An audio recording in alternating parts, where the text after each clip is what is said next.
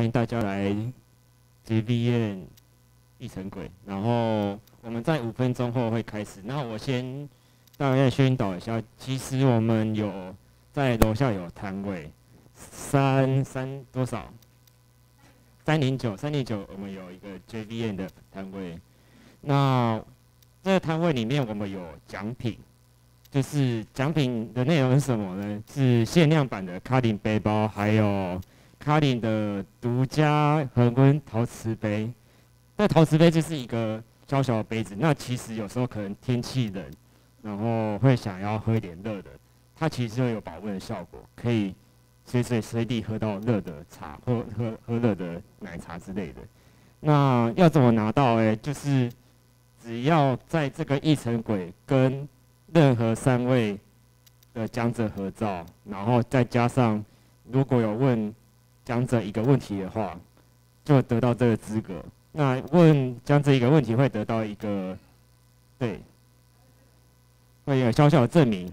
然后到时候拿这个小小证明跟三张讲者合照，可以去我们摊位索取兑换背包或者是那个陶瓷杯，嗯。然后这个上面的 QR code 是我们相关的社群的 QR code，可以欢迎加入。第一个是 Carding 台湾 User Group，就是一个在台湾的 Carding 的社群，呃，也是在这个会议中最主要的人员的组成啊。然后第二个是 Android 相关社群，Android 相关社群有 Android 台北跟 Android 读书会。好，那再稍带一下。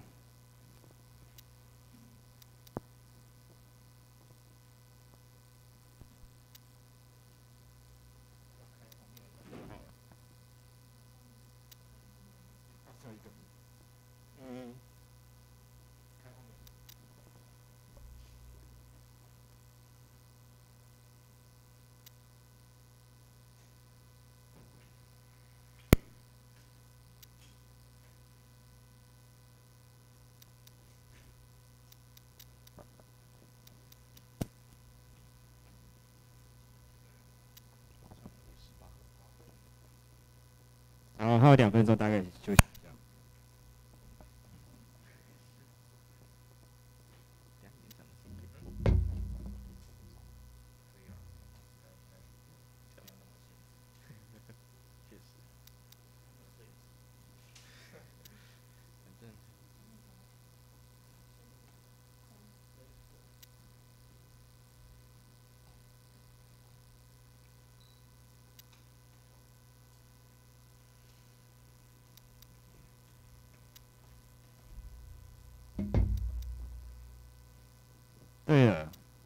这边有一本书，是我们社群人员，诶，其实也不算社群人员，就是呃，大家不知道知不知道一个 ID 叫那个 IntelliJ，或者是 RubyMine，或者是 Angel Studio，嗯，他们背后开发公司是 JetBrains，那 JetBrains 的员工，然后以及然后他们，呃，他的 title 叫传教士，就那 Jet JetBrains 传教士。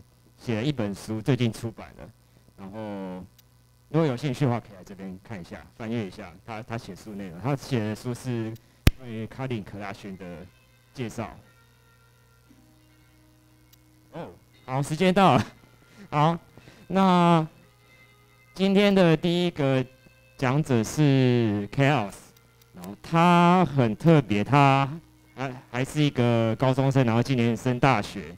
其实去年他也有来演讲，我觉得就是真的蛮蛮难得的，就是这么年轻的人，然后来投稿，然后就还投这么硬的东西，其实我也蛮有兴趣的。因为其实我当开发者看当那么久啊，就写 Java、写 c o d i n 应该至少也有七八年了吧。其实我没有认真研究 Bytecode，嗯，也很期待今天的演讲。好，那那我们就欢迎 Chaos。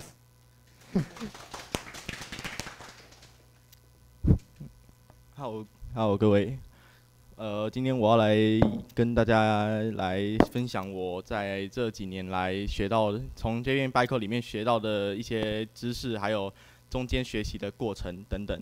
而那我们就废话不多说，直接进入自我介绍。我们我我本名叫林凯佑，然后现在是担任 B 语言的开发成员之一，同时我也有在自己做一个程式语言叫 Cask，只是现在改名成另一个叫 Yako，它也是用 Kotlin 写的。而正是因为我写了这个 Yako Land 之后，正对于 JVM Bytecode 有更多的了解。而今天我就要来带大家来更了解 JVM Bytecode 是什么样的东西，或者又要让大家不要那么畏惧它。那如果我们要提到这边 bycode 它是什么样的概念之前，我们我想要先来和大家分享为什么要学这个技术。这个技术乍听之下感觉是一个非常硬核又冷门，而且 Stack Overflow 上面或 GitHub 上面也很少比例会看到这样的 topic 出现。但是我想要来看大家说明这个技术的重要性。首先，应该有些人有听过这个韩式库叫 ASM。ASM 这个 library 它主要是帮助我们去针对一个编译好的 class file 去做一个 transforming，也就是转换，转换成你想要的形态。例如右图所示的，我们要把 main function 里面的一个一段字串替换掉，把那个 ori original 换成 transform 的话，那么我们就可以借用 ASM 的 library 去做一个 transformation。然后 generate class 的话，通常是用在于我们 compiler 要生成 JVM bytecode，呃 JVM backend 的话，那么我们就会用 ASM 的 library 去做一个 generation。而 visit classes 的话，如果有有人知道说怎么用 Java P 这个 command line 的的 command 的话，就会知道说，它其实可以把一段一个 class file 里面的 code 给 dump 出来，用人眼人脑可以理解的方式回传到 command line 上面。而它主要的技术就是用 visicet 这个技术来达成的，就是借由访问每一个每一个 bytecode 的一些 location，然后去反馈到反馈成一个我们人脑可以理解的部分。而还有一个是比较少人知道，但是它其实技术含量也蛮深的。这个可能只有 Minecraft 模组开发者才知道的，叫做 Sponge Power Mixing。Sponge Power Mixing 的话，它主要是帮助我们去针对现有的现有的 code 去做一个 transformation。假如说我们想要在一现有的游戏 code 里面去硬塞入一段我们自己设计的 code 的话，那么我们就可以用这个 library，就是如同我们第一项所写的 inject custom code into exist class file，它就是如此的简单暴力。而第二个的话，它稍微比较难理解，但是你可以让一个现有的 class 可以有一个特征，也就是有点像 interface，但是它是一个 trait，这一不方便解释，但是它其实针对日后一些游戏的开发，有时候会非常有用。介绍完为什么我们要学习如此一个硬核的冷门技术，那么我们要来稍微介绍一下 bytecode 它到底是什么样的东西。bytecode 的话，如同各位所见的右图，它有它有一个类似 struct 的档案格式，而这些 u4、u2、cp info、field info、method info 或 attribute info 都是一个 bytecode 里面会有的东西。u 在这里表示的通常都是一个位元，也就是一个 onside in onside byte，而这要稍微介绍一下 bytecode 它的特征，因为我们如果介绍它档案格式的话，这样有点太无趣了。这里 bytecode 它的特征非常显而易见，由于它是由 byte 组成的一个档案，所以它的档案大小会比我们写的程式语言 Java 或者是 Kotlin 可能会再小一点点，在比较大型的城市里面会比较容易体现这个特征。而第二个就是 word，相信很多人都听过这一个名词，叫做 write once run everywhere。它其实就是指我们有了一段 bytecode，然后在不同的 OS 上面有 JVM 一个虚拟机器的话，那不管我们在哪里执行，只要有 JVM 这个机器都可以执行出我们想要的结果。第三个比较稍微冷门一点，是我们借由 bytecode 这个简单的形式，可以让 just-in-time compiler 去更好的优化它。由于我们的 bytecode 它是呈现一个非常简单的形式，而不是我们所写的 code 有时候会有 ambiguity 的问题，所以 bycode 它没有 ambiguity 的问题，就可以让 JIT 更好的去优化它，包括 inline 等等的优化。但是 bycode 它其实本身也是一个不好理解的东西，它这边不好理解的东西，大部分都是都是一些比较我们不常会直接去看的，因为它其实没有什么用途。但是同时也是劝退很多人的一几个点。首先就是它其实你直接去看它会得不到任何的有用的资讯，像是我们下面看到的，如果你用 VS Code 去开启一个 class file 的话，那么我们开启的 class file 里面会长得像这样子。这些通常来说都是正常的，只有一些一小段的 code 里面会是你读得出来的一些资讯，像是 Java Len Object 就是很明显就是 Object Class，但是这些都是存在于 Constant Pool 里面的，所以其实你知道了有这个 class，但是你不知道它用你的你不知道它的用处，所以你还是不知道它这个 class file 里面到底是会运行出什么样的结果。而第二个是比较少人听到的，叫做 word write Once Debug Everywhere。在比较早期的 JVM 年代，可能 Java 一左右的时候，它那时候 OS 资源的还比较少，或者是它的社群还没有发展起来。而我们 JVM 它 VM 有一个很重要的特性，就是你不管在哪一个 OS 上面执行，都应该要执行出相同的结果。而在以前年代很少人去维护的情况下，有时候没有谨慎的去做出一些测试和规范的话，在不同 OS 上面的 JVM 会执行出不同的结果，所以就造就了 White Once Debug Everywhere 这个结果。而第三个 Backward Compatibility，相信有学过 Java 的人都应该知道，范型不存在于 Runtime，它会被 Type Erasure。主要的原因就是因为在 Java 六的时候，范型还没出现。呃，在 Java 六以前，范型还没出现的时候，它 bytecode class file 里面都没有 generic 的 info。而为了要让 bytecode，它这边的 bytecode 有个主旨，就是它是要建立在前人的的肩膀之上，所以。你不能去随意跟动它现有的结构，你只能在后面去增加一些，去增加一些你需要的特性，而这就导致了我们不能去增加 generic 这个东西在 class file 里面，所以我们就会上就会有一个看起来有点不太合理的机制叫 type erasure，在 C sharp 的 CIL 也就是 common intermediate language 的话，它其实没这样的问题，因为某些原因上来说，它其实技术要做得到也是可以的。只是 JVM 的话，目前来说是我们看到它应该是还没有任何一个 proposal 可以解决这问题。而 JVM bycode 还有另一个很头痛的点，就是它有一个东西叫 stack frame。stack frame 的话，在每一个 method 里面都会有，像是。我们所看到的，如果我们要执行一个 return 一加二的 statement 的话，那我们可以看到的 stack frame 会是长这样子。它会先把一个一推到 stack 上面，然后再把一个二推到 stack 上面，再最后执行加法这个动作，并且 return 回去。而 stack frame 的用处由此可知，它就是要明确的定义说，我们每一个指令码前后，它对于一个 method 里面的 stack。的操作是如如何的，主要是记录它的 type 是为何。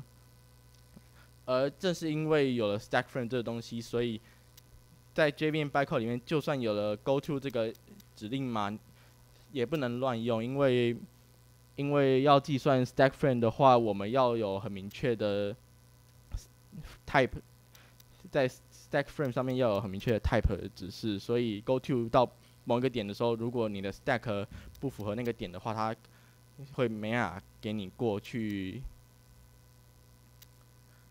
那么讲完了一些 JVM 的 JVM bytecode 的一些知识的话，我想要来分享一下我是如何学习这个技术的。最一开始通常都会避不了要先从学习去看我们 Oracle 的 JVM Bytecode 的 specification，但是看完了之后并不一定会懂，所以我还是决定在大概一年前的时候开始去去研读一些有关于 VM 的知识，而我这里条列出了三个最主要 VM 它执行的 workflow。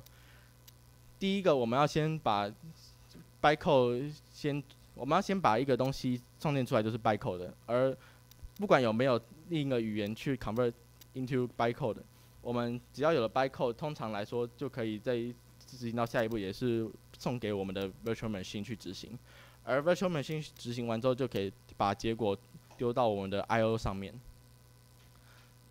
那么我们要来仔细思考一个问题：bytecode 它的形式是非常严格的，它不像我们人类所使用的自然语言，它其实是一个人工语言。而为什么 Git 可以那么简单的去优化它，就是因为它的形式非常的严谨而简单，它格式不会突然给你跳出一个会有 ambiguity 的问题的一个形式，所以它就是定义明确的一个东西。所以 format 是一个很重要的东西，但是如果我们是第一次实做的话，就会不用去管 format 到底多么严谨，我们只需要去设计我们的 instruction 就好了。因为 constant pool 等等 class 等等 OOP 的一些细节，在一开始实作上是非常难的。我们其实只要去针对指令码和它的后缀的一些 operand 去做一些细节的规划，就可以。达成我们所需要简单的 bytecode 的要求了。而在我 VM 的实作路上面，我会觉得说 I/O 其实是一个很很客观性的需求的一个东西。I/O 其实要你要没有要你要不要，其实是一个无关紧要的事情。最主要是，如果你要学习这技术的话，我会推荐你实做一个小 I/O 就好了。最主要就是让结果可以反馈到你这边来，知道说我们这个执机器执行完到底是不是给出我们要的答案。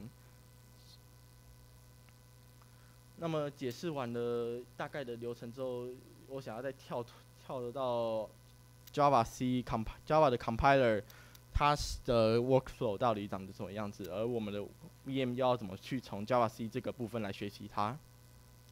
Java C 有各位用过的如此，它是把我们的点 Java 的 class 呃的的 file 把它转换成 bytecode，也就是 class file，在最后送去 JVM 去执行，而我们就会有了右边那个冰山图。首先，我们 bytecode 之上是 Java，因为我们要有了 Java 才能执才能编译成 bytecode，或者是 Kotlin 或 Scala 或 Clojure、Groovy 等等都可以。但是我们避不了，就是会有一个比较易懂的 layer 去让我们撰写，并且最后让 compiler 去编译成 bytecode。而 bytecode 看如各位所见，它是在水底下，因为它水是非常深的。它这里会遇到一个难点是，它的格式是非常。不明确的，就是对于说一开始直接学的人会比比较不容易去理解它到底在说什么东西，而最下面那个 JVM 的话就更复杂了。由于 JVM 它的一些技术实现上的细节，它很多都是用 C 写的，而且有时候免不了会用一些很邪门的技术去实现一些功能，所以对于一般人来说可能看得懂，但是。更不能理解它，更不能体会它到底是什么样的情况，所以我所以这个冰山图就是一个很好的解释。而我们如果要今天要实做的话，我们其实不需要 Java 那一层，我们就直接把 bytecode 推到最上面的，因为我们要实做一个 VM 的话，bytecode 不需要那么复杂，只要一些 instruction 就好了。有也，然后我们就可以把 bytecode 从冰山的中间那一段推到冰山的顶部。它就相对比较好的去实做了，VM 的话相对还是比较难一点点，但是只要稍微能够知道说，Vn 它是 read by line 的去执行，它的 bytecode 的 instruction 的话，那就会知道说，其实 Vn 也没那么难，所以它其实也没那么难，但是只有一个点，是因为我们要去做一些操作上要考虑的细节非常多，例如我们的 conversion、implicit conversion 之类的一些规划设计。如果说我们要看 V8 的引擎一样，不管它的 type 是什么，或者 Python 的 code、Python 的 VM code，不管它型别是什么，直接 add 的话，那么其实实作上是非常简单的，就只要全部都转换成 double 之类的。但是我们这里通常来说，一个静态语言的话，还是会主要是希望是以比较明确规范的形式去定义一个 bytecode instructions。好，介介绍完了我们大概的工作流程之后，我们可以来，终于可以来实现一个 VM。而这里我会比较推荐实现这两种 VM，一个 Arithmetic VM，也就是各位所熟知的计算机啦。它就是一个四可以达到基本四则运算的 VM，也就是你给它一段的四则运算算式的话，它要能计算出对应的结果，这是。比较简单的，而另一个叫 Standard VM，Standard VM 的话，它会包含一些例如控制流、变数存取等等的一些功能，它会比较难实现，但是也还算是可接受的范围。在下一阶的话，就是我们所熟知的 JVM 那些的 VM 了，因为它里面包含了一些 OOP 的功能，所以会比较难去实做出来，但是。久而久之，如果你对 V 这面的实作更为了解的话，你就能相对的实出实做出一个属于你自己的 VM 出来，甚至你可以自己去创建一个 Open JDK 的 fork 出来，去写一个你自己你自己写出来的 VM，也就是让 JVM bytecode 可以在你的 VM 上面跑，这样也是可以的。最主要这个这里的环节是要让各位知道说。实作可以带来一些熟悉感。我们去看 bytecode 的一些 specification 的话，就会发现说，它其实里面是非常定义定义严谨，但是你不太能去了解这是什么东西。所以最主要还是从实作会比较好去体会就是 bytecode 是什么样的东西。而我想要来介绍我有实作过的两种 V 两个 VM。第一个是用 V 语言写的 VIR Iridium VM，它其实就是一个程序单纯程序性的 VM，procedural VM，而它能够最简单的执行出来下面的 code，也就是我们要我们上我们下面 example 讲的 factorial five，也就是阶乘五，而下面就是要怎么去实现计算出阶乘五的 bytecode。经由你严谨定义明确的 bytecode 定制定出来，然后你再去设计一个方程去 dump 你所接收到 bytecode 的话，你就能得到这一段这一段的类似 hex dump，但是又不是 hex dump 的一个结果。它其实就是主要是要让我们人更好的去吸收理解说这一段 code 到底在干嘛。而上面的话，因为我没有明确给出它这些。opcode 到底在做什么？所以我们就单纯就看一看就好了。而 registers 的话，它这边我们可以看到有四个，因为 VIR 它是一个 register based 的 VM。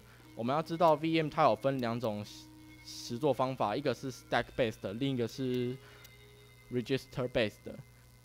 stack based 的话，就是如同 JVM 和 CIL 那样，它就是利用对于 stack 的操作而去达成我们所需要的结果，而 LLVM 就是利用 register 被，就是用 register 去存变数的。但是我这边是利用简单的去呈现出来，register 如果要存变数的话，会变成这样。而我们回到最一开始，我们这个 VM 实做出来有给一个算是有给一个。城市码，它是要计算出五个阶乘五，而我们可以看到这个 function 里面有四个 register 有被用到，首先是六和一百二，还有六和十六。这四个值来说的话，你会看不出来这到底有没有计算出结果，因为它不像是因为这个 VM 我没有设计的非常严谨，说它必须回传一个值，但是我们可以借由一些自己设设计的指令去 dump 说它的 register 目前长什么样子，而我们可以看到说阶乘五，人脑很很容易就算出来的是一百二，而我们如果这时候在 register 看到，诶。第二个 register 它上面的值确实是一百二的话，那通常来说就是你算对了。但是这个 register base 的 VM 有一个比较大的缺点，就是你设计的时候会非常难设计，因为要去顾虑到说哪一个 register 要做哪一个工作。这样来说的话，对于一般我们写程式的操作来说是比较不明确的，所以 register VM 是相对比较难实做的一个 VM，但是。也是一个不错的题材啊。另一个的话就是 Stack-based VM，叫做 c 我也是我做的叫 Cogwork VM，它是用 Rust 写的，而它的功能就是能够执行出类似一段 Python code 的 VM。我们可以看到下面这个这一段 code 是我使用类似 ASM 的技术，还有它所使用的 Visitor Pattern，这等一下我们会讲。而去实作出来的一个 Bytecode Builder，而这个 Bytecode Builder 它借由这样的去建制之后，我们可以发现说，这左边的这段 bycode 其实就是等效于右边的 Python code。这部分有比较大的一个突破性的进展，叫是 Nested Function 这个问题，因为 Python 里面它确实是把一个方选每次扣到的时候就定义好，就当做一个 instruction 在 declare 的，所以它确实是每一次进入每次进入到这个方选之前，我们如果在第二行看到 def more 的话，那么我们每次在进入 add 之后，我们都会先定义一个 more 这个 function，然后最后在 return 上面执行 more 这个 function。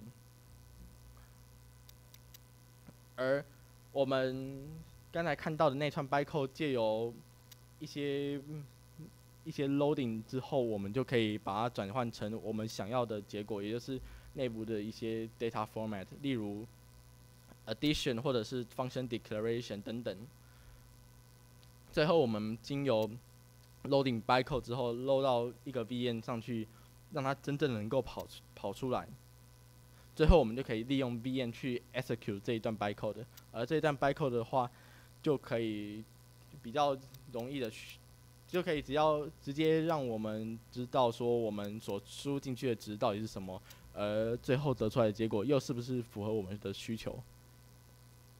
而这里我想要再提一下刚才说的 JVM bytecode 的 instructions，它是什么样的东西？JVM bytecode 的 instructions 它不像 Python 或 V8 的 VM 那样那么的有混淆性的问题在，它其实是一个定义明确的东西，如同各位所示的，下面上面有四个 bytecode 的 operation，第一个是 iadd，第二个是 istore，第三个是 fadd，第四个是 fstore，而这四个 bytecode 的差别，我们会一一来讲。第一个是 iadd，它其实就是把两个整数加起来而已，把你推送到 stack 上面的两个整数加起来之后，再把结果推到 back stack 上面，最后你会你的 stack 上面的元素会从二变成一。而 istore 的话，就是把 stack 上面的一个值拿下来，并且存到 local variable 里面，它也就是把 stacks 的元素减一了。而 f add 和 f store 就更好理解了，它就是针对 float 去做的操作。那么有人就想要问说，为什么我们我们一定要做出 i add f add，不可以直接弄出一个 add 吗？可以，但是这中间就会牵涉到一些 conversion 的问题。我们如果要做出如此通用的实作出来的话，就会发现说有可能会有。精密度的问题，而 JVM 它就是为了避免我们刚才提到的 WOD 这个问题，所以它使用了更定义明确的 add 和 f add 去区别说我们对于两个型别的加法是要严谨，他们两个都是要同一个型别，而且要用要用对一个 opcode，它才会让你去执行。如果你这时候给出一个是 f，一个是 float，一个是 integer 的话，那么加起加起来的时候，甚至是在 loading 这一段 class file 的时候，它就会给你说不行，不行去执行这一段加法，因为它两边的 operand 的 type 是不一样的。而为什么 Java 可以在还没 loading 进去就知道这件事呢？也就是归功于我们的 stack frame，它可以先帮我们去去 verify 验证说这段 code 的 type 是不是对的，所以我们才可以把它放到 VM 上去执行，也就让 JVM 稍微安全了很多。因为 bytecode 这东西本来就是一个想象力无穷的地方，它没有什么，它不像我们。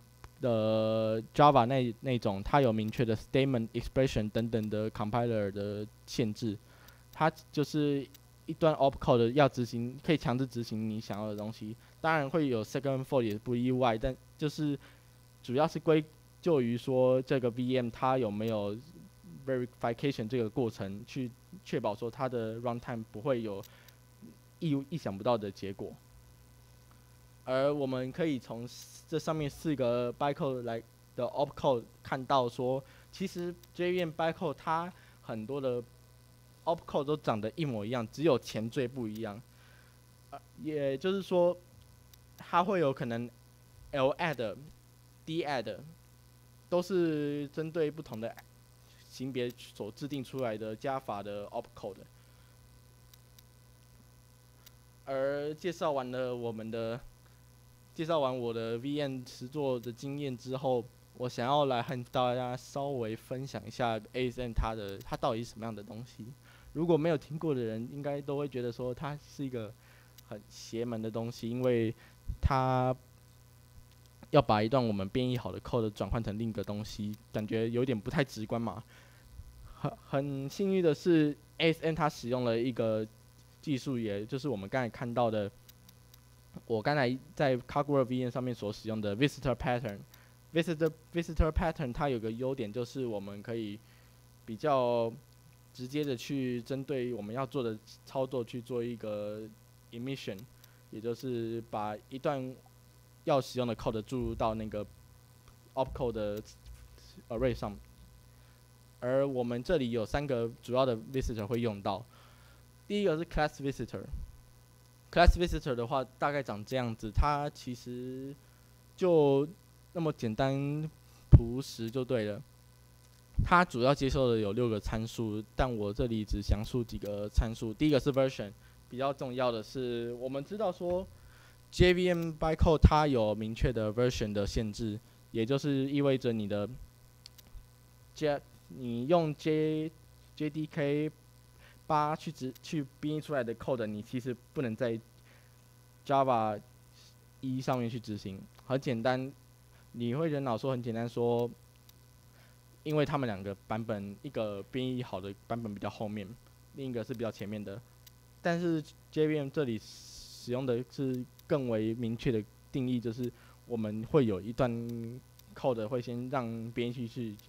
呃，让 JVM 的去检查说我们这一段 code 是不是可以执行的。假如说我们是用 JDK 八去编译出来一段 class file 的话，那么我们接下来把它丢到 J JVM 六呃 JVM 十六上面的话，它就会发现说，哎，这个这个 class file 是在八上面所编译的。因为由于 backward com compatibility 的话，我们的 JVM 十六就可以去。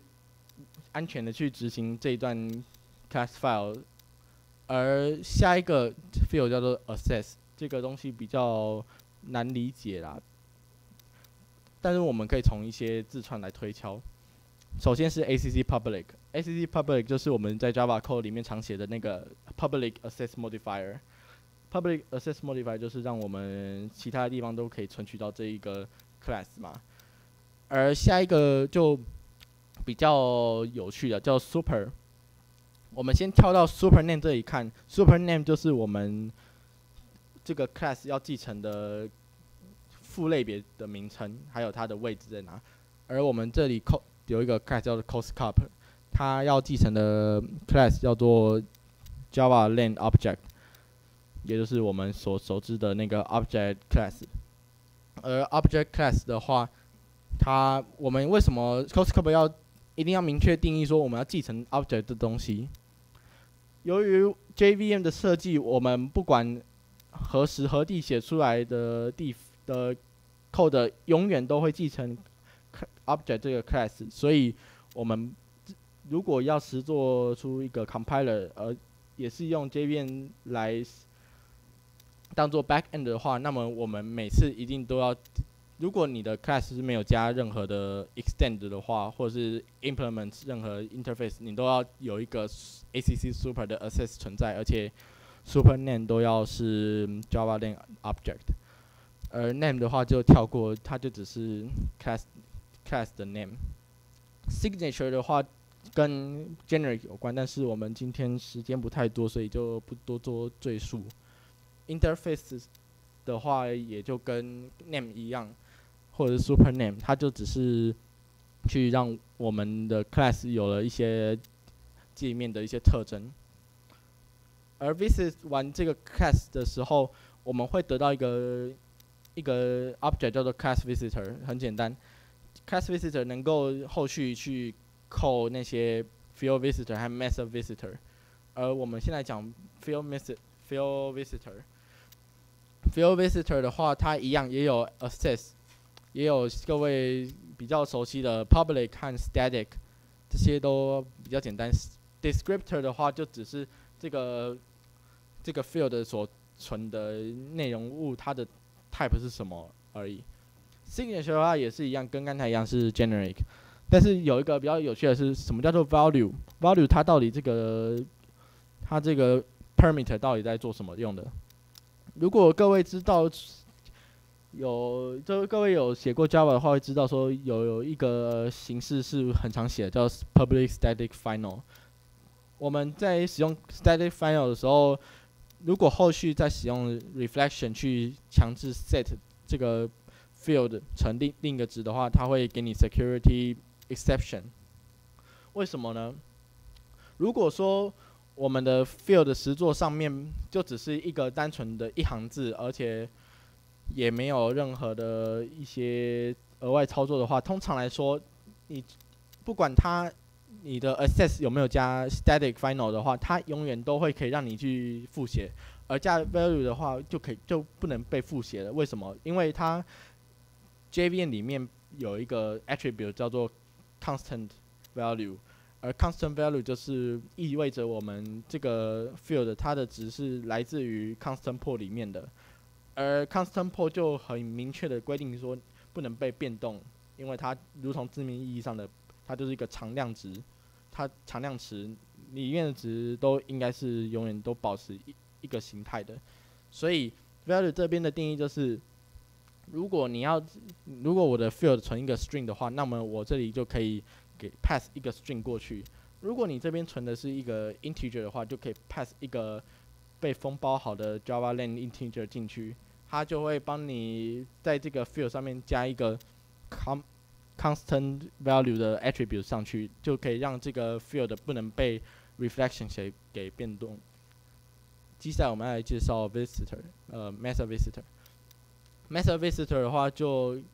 更好理解，我们在经历了两个 visitor 的介绍之后，就可以发现说，其实都大同小异，就只有它多了一个 exception，就是我们 Java 里面会比较常用的一个 function declaration 后面会有一段 flow 的，会有一段 flow，然后后面会明确指出我们哪几个 class 哦会哪几个 exception 会被丢出来，而丢出来之后，我们要再去 handle 它，这就是我们。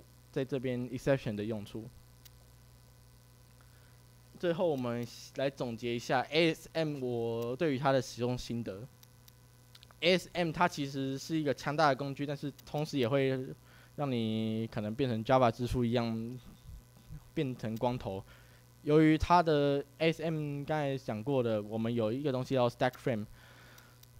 所以 ASM 这边会有一个东西，会有一个 method 叫做 Visits Max，它可以自动帮你计算出来，就可以让你不用变光头，你就不用再去担心说 Stack Frame 上面要是怎么去明确的去 emit 它。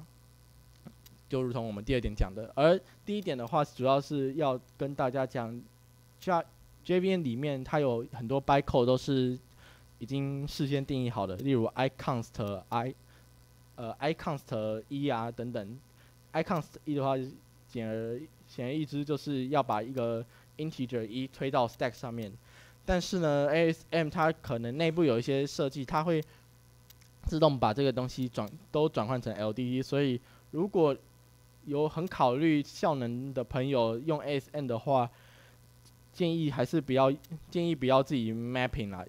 也如果要 mapping 的话，可能就是稍微 fork 一个 ASM 出来，让它正确的去把你想要的 opcode 直接放到 instruction 里面，因为它永远都会把它转换成 LDC 去使用。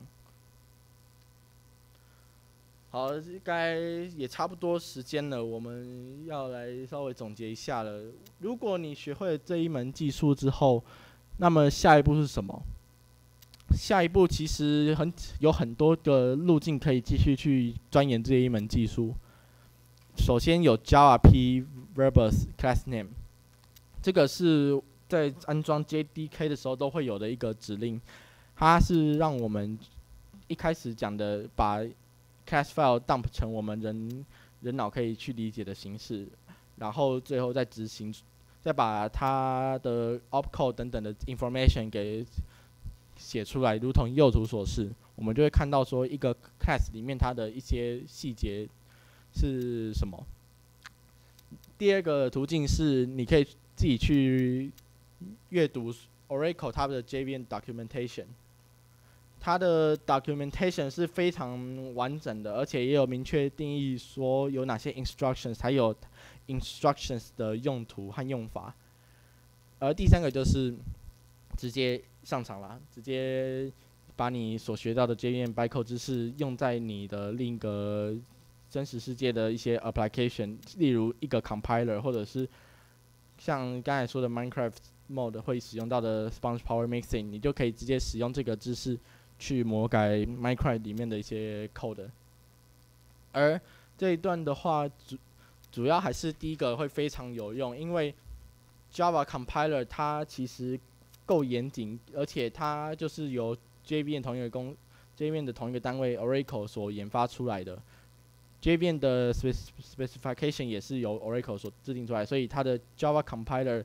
其实是最好的一个学习途径。借由你写出来一段等效的 Java code 出来，如果你要把这段 code 变成你自己 compiler 要去编译的程式语言的话，你可以先写出一个等效 code，经过 Java compiler compile 出一个 class file 之后，再用 Java P Verbose 去反编译它，去看说这段 code 它是如何去实现的，然后再来。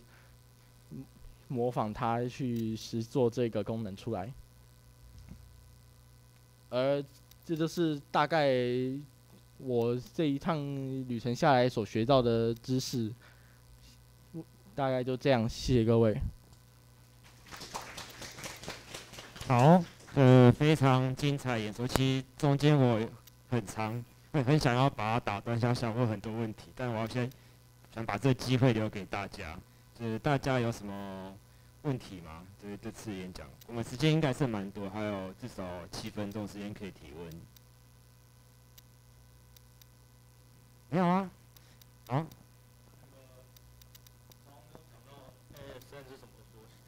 呃，A A S M 它其实就是，嗯，你说缩写吗？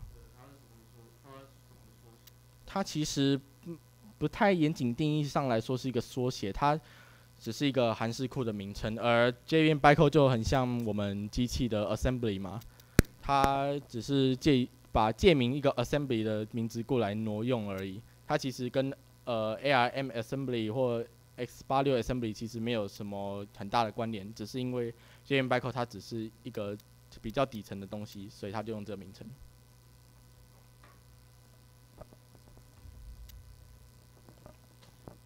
请问，如果要学这个的话，我要怎么开始啊？呃，我会建议说，嗯，如果你要学 JVM bytecode 的话，不妨可以从魔改 Minecraft 下手啊。因为如果再去学一个 compiler 的话，可能会有点有点太 overkill 了。直接去魔改 Minecraft code 的话，你只要去学怎么去编，怎么去做一个 Minecraft mode，然后再去研读说 Sponge Power Mixing 要怎么去使用，注入一段你的自己的 code 进去，就会有一比较好的一些成效出来。还有其他？呃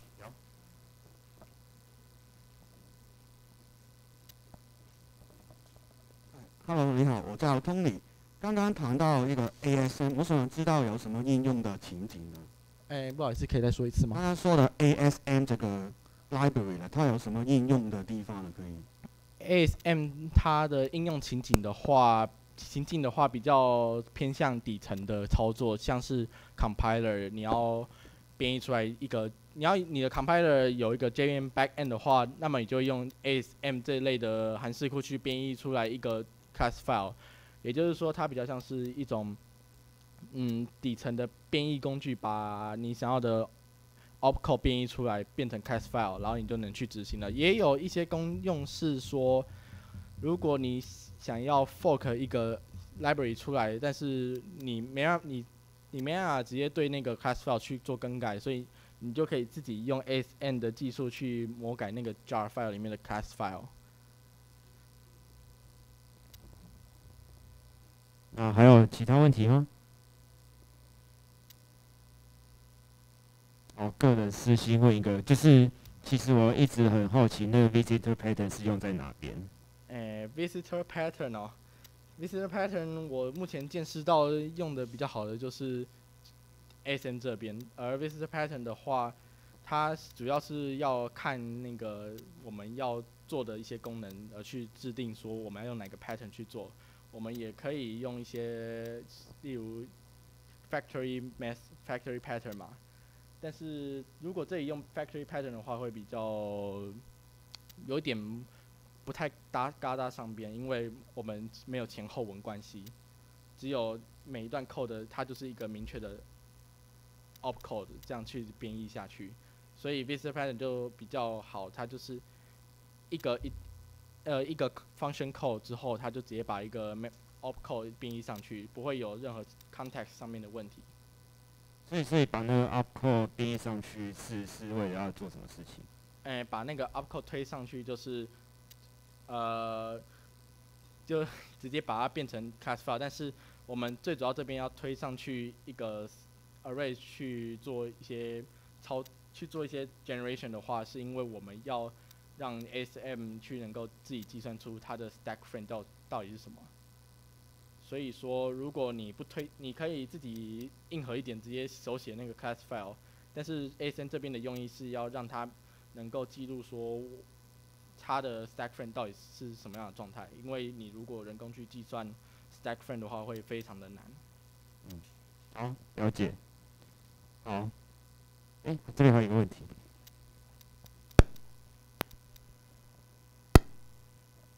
你好，喂，我是长虹。那我想有一个问题就是说，呃，我们写 I c o 嘛，那不会去，就是没有办法去跟踪它的架构。那如果说要扩充它的话，你有什么一些很实力，就是像扩充 Java 的一些，像你有时候用 visitor pattern 来去检查这个什么 public state define 啊，或是排匪这些等等的。那你有什么很简单的一个实作例子，可以扩充某一个语言之类的？谢谢。诶、这边因为如果要 vis 要用 visitor pattern 去 visit 每一个 by opcode 的话，它的过程会稍微前就前置作业会有点稍微复杂，但是我们通常这个在 visit 的时候，比起 visit generation 比较简单，但是 visit 的话，目前我看到的都是比较冗长冗长的，我目前没有找到一个很合适的 example 可以直接去做一些 visit 的方法，但是我有有看到 Stack Overflow 上面有人有分享过，因为这个应用情境会比较少，因为毕竟有了 JavaRP 这个 command 之后，就比较没有需求去再做一个反编译工具出来，对。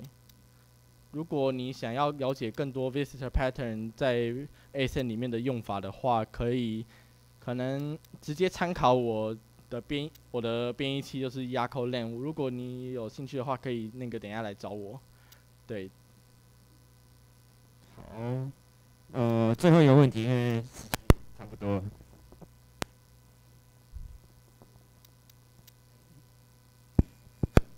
那我想请问一下，你目前在做像这种 compiler 这种 JVM bytecode 遇到最难的议题是什么？诶，目前 JVM bytecode 我在实呃我在做 compiler 这部分，在隐秘层 JVM bytecode 这个最难的部分，应该是莫过于对于 OOP 的一些检查，例如说我们继承数的 upcasting 和 downcasting 这部分。这部分是 runtime 没法去检查的，而是要你人工自己去推导出来说，它到底能不能被正确的 casting 上去，或者 cast cast down。cast down 的话，只要检查是不是同一个继承数就好了。但 upcasting 的话，要检查整个继承数它是不是在里面，而且它是不是在呃 target type 是不是在那继承数的上面。呃，这个就需要用用到一些演算法，会比较难。另一个点就是说。呃，我们因为刚才说到的 JV 呃 Java 里面有很多的 ambiguity，是我们没有一开始人脑会比较不能理解为什么它这算是 ambiguity。例如说，我们如果有一个 function 在 interface 和我们有一个同样的名称和同样的 function signature 在另一个它继承的 class 上面的话，那么我们要怎么去正确推导出来这个？function 如果被扣的时候要去使用哪一个 function，这就是会有 ambiguity 的问题，而这就是我们 compiler 要自己去解决的一些细节。对，这目前是我实做 compiler 和 JVM bytecode 这部分来说最比较要花一点时间的部分。好，感谢讲者 K 老师。那最后再提醒大家一下，就是我们的摊位上啊有一个。有两个奖品，就是一个限量版卡林背包，另外一个是和温陶瓷杯。那得到这个奖品的前提条件是是刚刚提问得到一个小证明，还有跟三位讲者，我们任何三位讲者合照。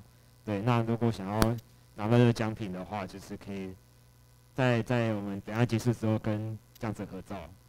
嗯，好，那今天谢谢大家。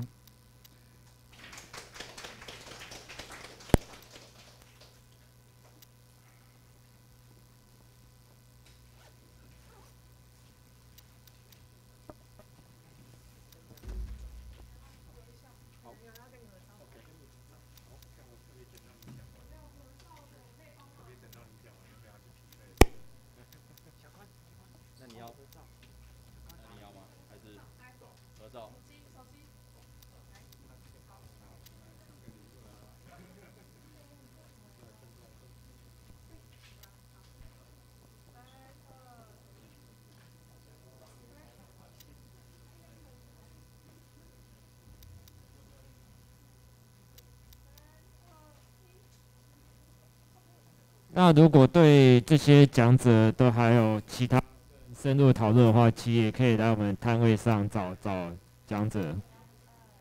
嗯，对对对，三个任何一讲者。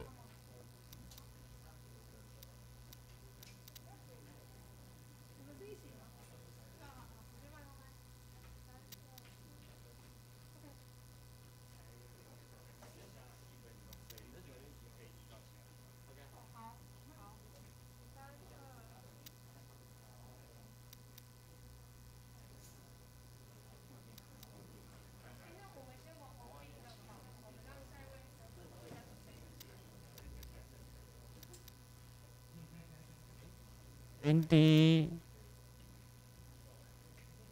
嗯，可以可以可以。哎，我。哦，不是讲者是。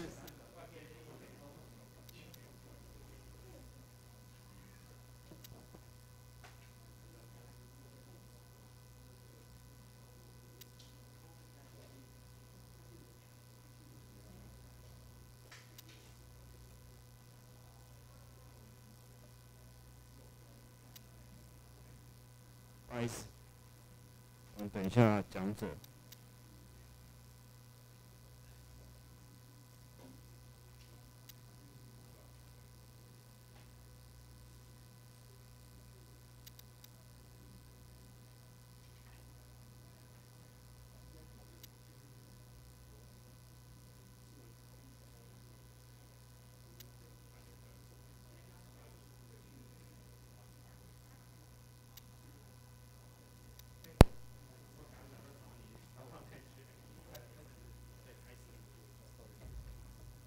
好，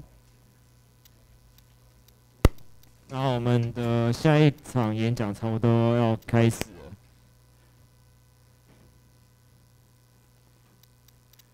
了。啊，今天第二场演讲是由 Andy 来带来的 Functional Programming in Kotlin。其实 Functional Programming 是最近蛮多人会讨论的一个主题。诶，你你去用全屏幕就好。要怎么按啊？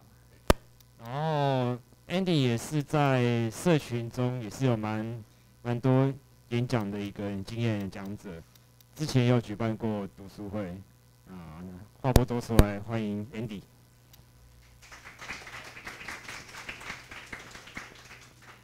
呃，Hello，大家好，我是 Andy。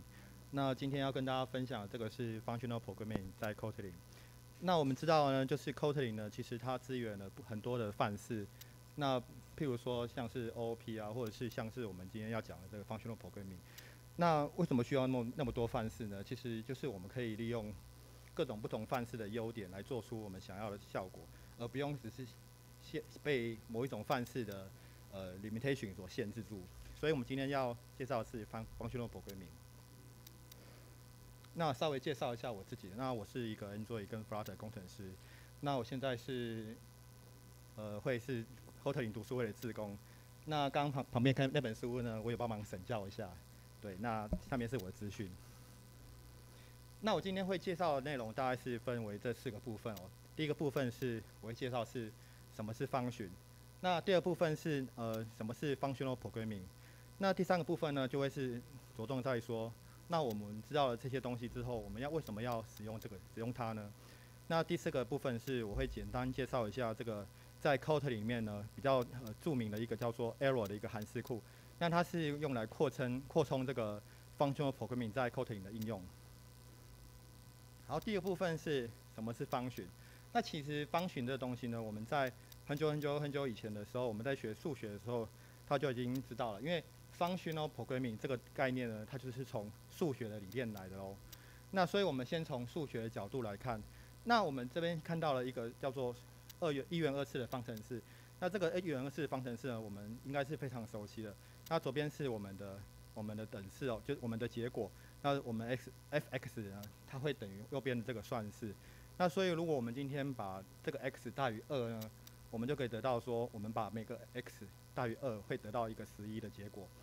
那所以说，如果是 f 三呢，可能会得到十八，那 f 四是等于二十七。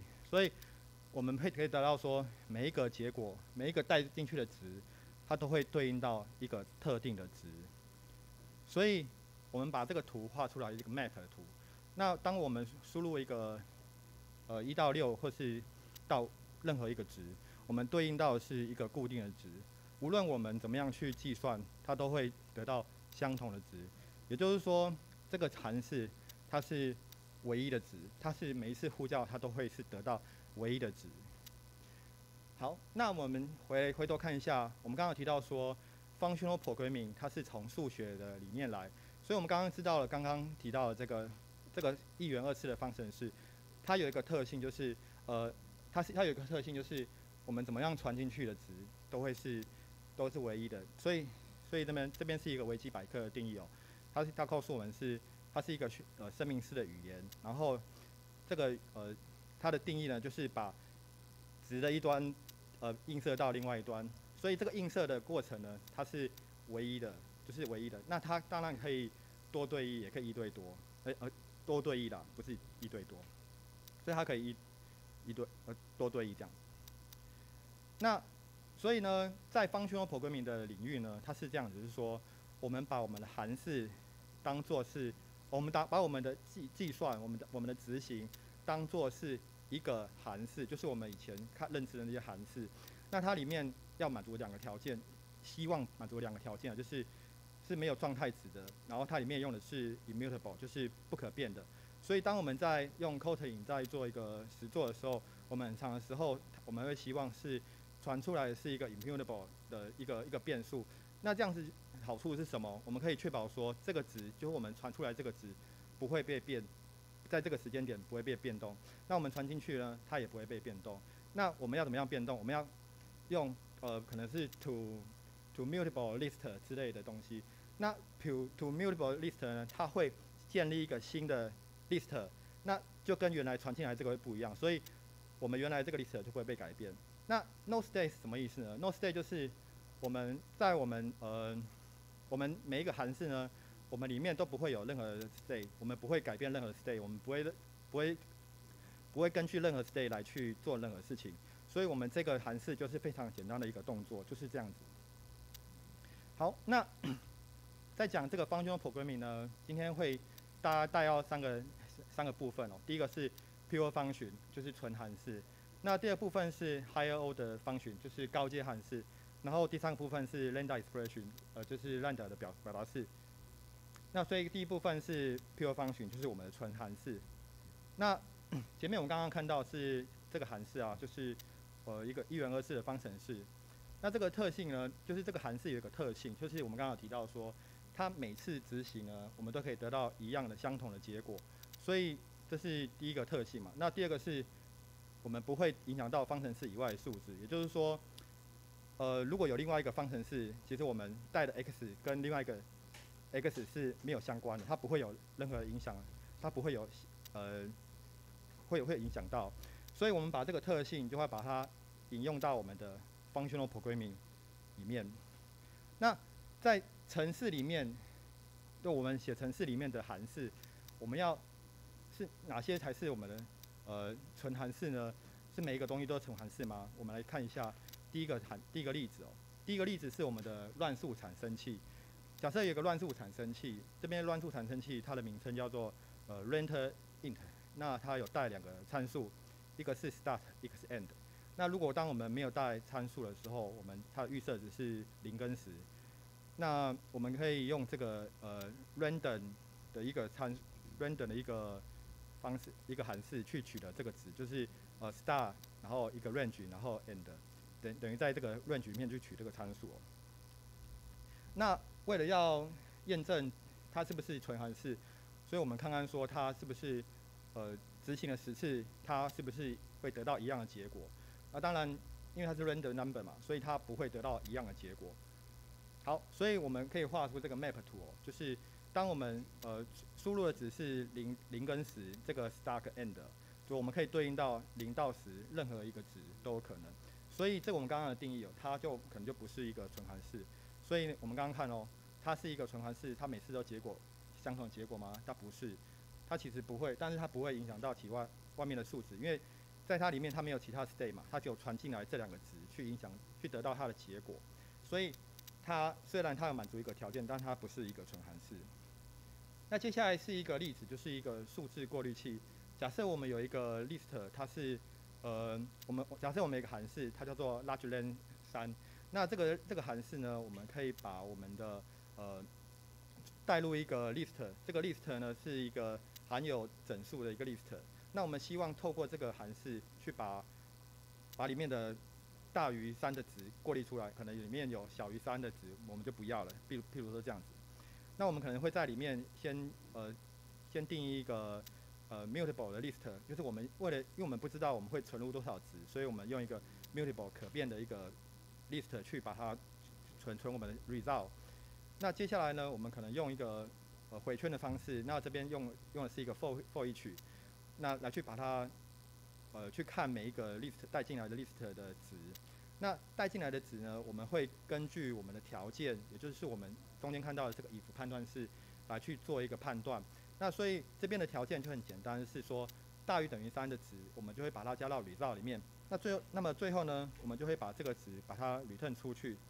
好，那这就是我们数字过滤器哦，就是呃，我们如果定义一个 list，它是零到六，零一三四五六，那我们把它传到我们的 largeLen 三的这个这个函式里面，那我们可以得到是一个三四五六的一个一个结果，一个 list 的结果。那如果我们执行了多次，譬如说我们执行了三次，那当然结果也是会一样的。所以我们可以从这个 map 图来看哦，就是当我们传进来的这个零到六的一个一个 list，我们一定会得到一个三四五六的一个值。所以这个就是一个一个纯函式。所以我们来看一下我们刚刚纯函纯函式的定义，呃，它每次执行都会得到相同的结果吗？对，那它会不会影响方程式以外的数值？它也它不会，哎。我不会啊，对，不会嘛，所以这就是一个纯函式。那讲完纯函式的，我们接下来呃，这个 functional programming 还有另外一个比较比较重，就是比较重要的一个东西哦，就是叫做高阶函式。那其实高阶函式在我们的 functional 就是 Kotlin 里面呢，很很常被运用到。那高阶什么是高阶呢？其实听起来很很玄哦，其实它没有很多多玄啊，因为，哎，因为在 Kotlin 里面呢，它的方群它是一个一级函一级物件一级的东西。那什么是一级呢？就是它可以摆在物件以外，就是它的函式可以在物件以外去定义，它不需要定义在函式里面的。那这是第一个。那第二个是说，它的函式呢，它可以当做当做是一个变数把它存起来，所以它可以把把它存在一个变数里面，或者是一个 data structure 里面。那甚至呢，我们也可以把它当做是一个变数存到一个呃一方序里面，然后当然也可以把它当做是一个旅道存传出来。但是当这样我们动，当我们把函式做这个动作来做一个存取的时候呢，这就是一个高阶函式了。好，那我们这边有一个方群哦，就是叫做 isEven。那这个方群呢是用来判断这个带进来的这个整数它是不是一个偶数。那我们这边很简单，我们只是用一个呃用一个百分比二的一个方式来去看看它是不是它回传的余数是不是等于零，所以这是一个非常简单的一个例子。那如果我们想要把它存成一个变数的话，我们要该怎么做呢？那我们知道变数每一个变数它都有一个 type，就是它有一个型别。那方群的型别是什么呢？那这边是一个问号，那是什么型别呢？我们看一下哦，就是我们可以看到说这边。我们带进来的是一个，我们这是我们的 input 值嘛？input 是一个 int，就是 integer。那我们 output 是一个 boolean。那对应到我们这边的的这个这个值，这个 type 呢，就是左边用括号括起来是一个一个它的 input 的型别，然后中间用一个箭头，然后代表是右边的是我们的 result。也就是说，这就是我们的，它叫做 function type。好，所以看到这个东西，它就是我们的方云 type，有一个箭头，是一个有有一个箭头在做，左边是呃呃 input 的值，然后然后右右边是 output 的值，这样子。那我们可以注意到说，其实在右边我们有用一个双冒号双冒号来把这个 is even 传给他，所以这个也是一个很特别的东西哦，就是在呃在 Kotlin 呢，这个双冒号是代表这个 function function reference，表示说。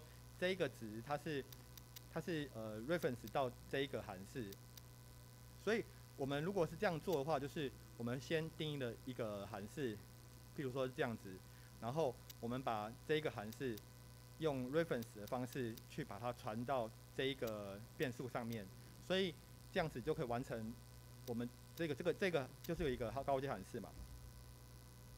那我们如果我们不想要定义一个 is even 的话，我们可以直接在这个等号后面就直接把这个这个函式就把它写写上来。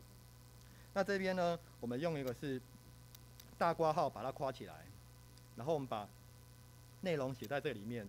所以注意到说这边是一个大括号，大括号就是包的是一个一个我们的函式匿名函式。所以你看这边没有匿没有一个名称，没有什么 is even 这个名称，没有并没有这个名称。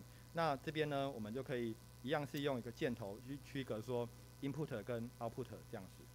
那当然这边可能没有一个布尔啊，所以因为这边就是一个布尔值，所以呃我们就可以知道说，它这边的 check check event 它的型别它是输入是 int，然后输出是 bool。那我们等号右边的它就是用一个大括号包住这样一个一个这一这样一个呃动作。那这样一个动作，用用大括号包起来的，我们又称它是一个 lambda expression，就是 lambda 的表达式。那呃高阶函式有什么样的好处呢？有什么样的用处呢？就是我们可以把这些函式丢丢给别人做运作。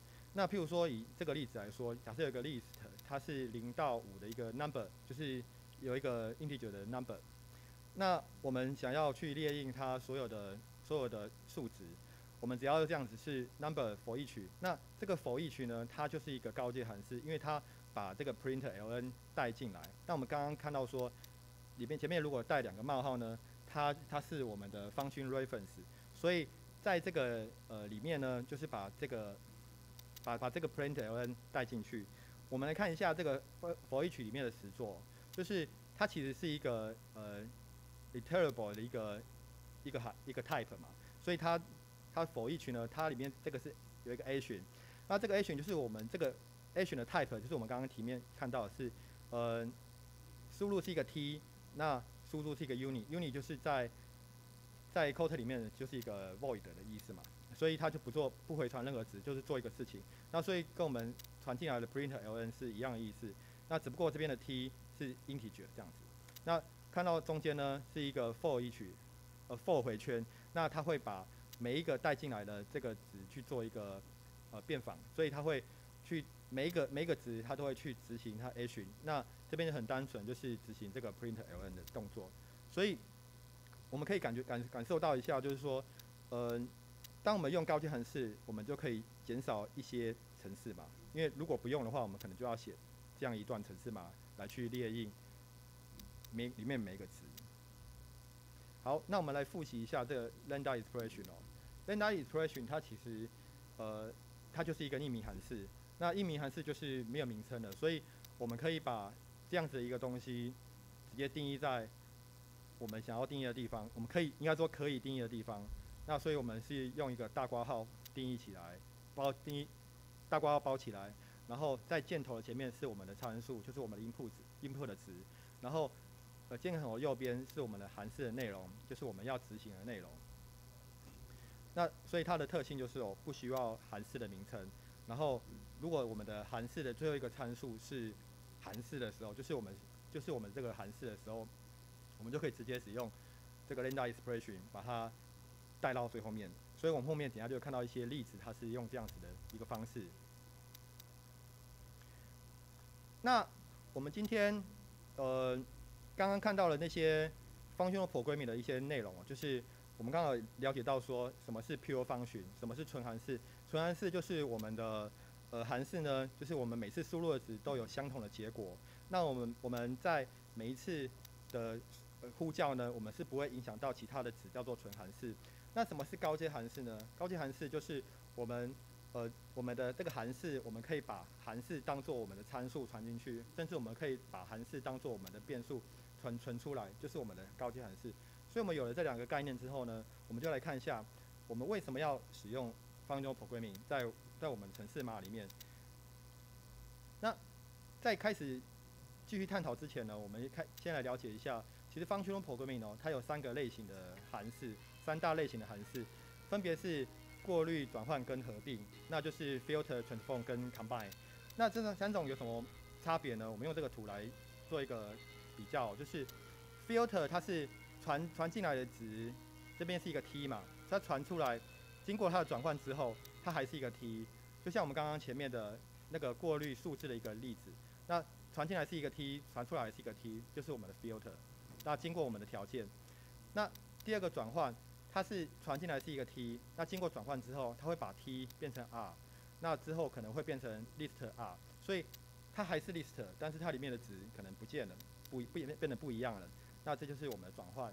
那 combine 是什么？combine 是进来可能是一个 list t，那经过了我们的转换之后，它可能会变成一个 R，就是它也不是 list 了，它就是变成一个单一个值，就是我们的 combine。所以，呃，广义来说可以分成这三类。那其实不只是 Kotlin，其实各大 functional programming 它都有这三类的函式。那只是有些有些名称它可能用的是比较不太一样。那基本上都会用类似的名称。所以我觉得学 functional programming 蛮好，就是我们在不同的语言可以看到相同的呃设计的理念在上面。所以呃我们用 functional programming，我们就可以用同样的方式去学不同的语言。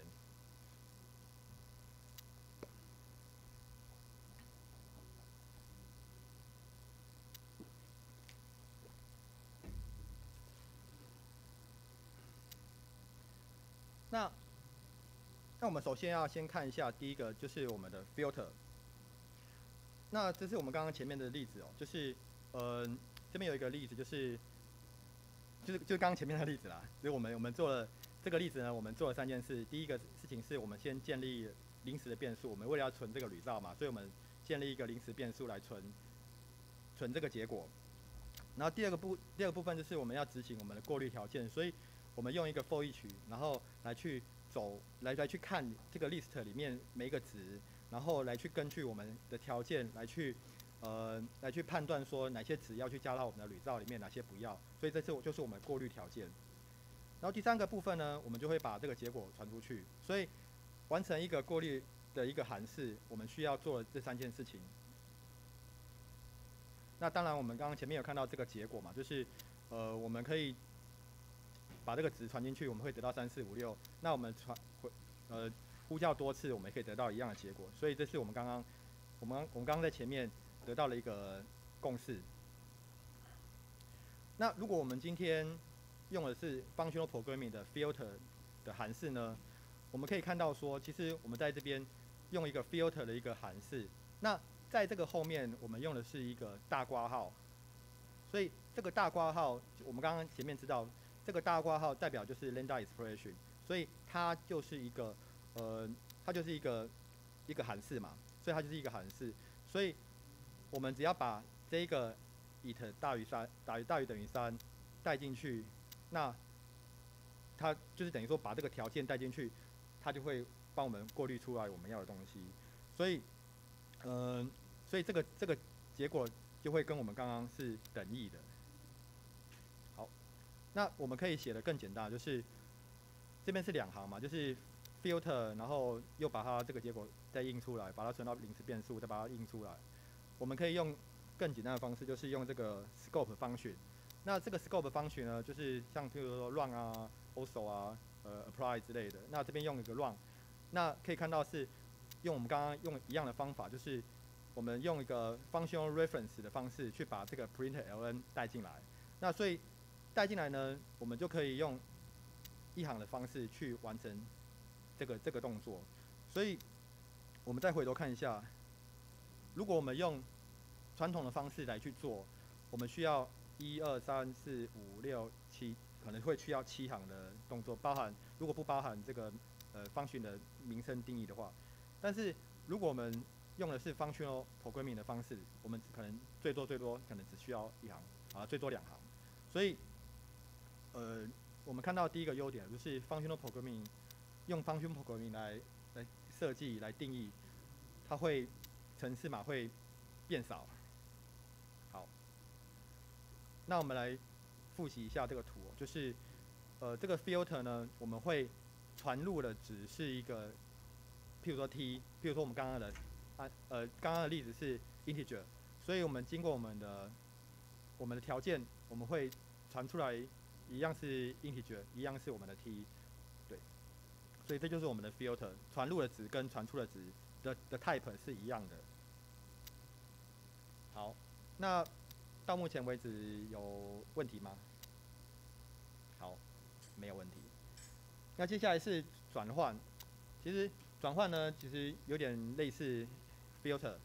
我们可以有一个比较简单的例子，就是我们希望说，呃，这边有一个 list 是一个 string 的 list，譬如说有一个 Andy、Alice、Johnson 跟 May，那我们希望说，我们把这个把这个名称不要不要用这个名称了，我们把它转换成它的 length，就是用 lens lens 当做它的呃当当做当做它的 array 这样子，转成 l 呃 length 的 array。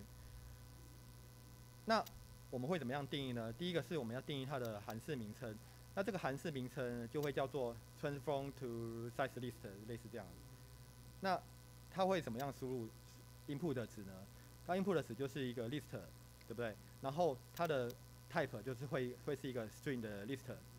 那我们希望它回传什么？会希望它回传的是一个 list 的 integer，呃，integer 的 list。所以原本是 in 原本是 string，然后它经过转换之后，它变成 integer，所以这是转换。那它会怎么做？同样，我们会先去定义一个呃可变的一个 list，是一个铝罩。那接下来呢，我们可能会需要一样用 for，我们这边是用 for 啦。那用 for 去看每一个 list 里面的元素，那然后会把里面的元素的 length 把它加进去我们的铝罩里面。那之后呢，我们可能把它把这个铝罩传出来，就是这样子。所以这个动作跟我们前面的类似差不多。那所以我们可以知道说，这个结果就会是这个这样的结果，就是原本是一个 list 是一个 string 的 list，然后我们把它传到我们这个 list 之后，我们就可以得到这样的的结果。然后所以我们就可以知道说，哎，这个 string list 经过我们的转换函数之后，我们会得到这个这个 string list 呃 integer list。那我们可以看到说，我们这边用的是一个 also，所以其实呃这个 scope function 我们可以用很多种来来去组合，不一定要用刚才用 run。好，那转换函数呢，在在 Kotlin 里里面呢，一个叫做 map。我们要介绍一个叫做 map，map 就是很像是我们把这边的值映射到另外一边的值，那它用什么方式去去映射呢？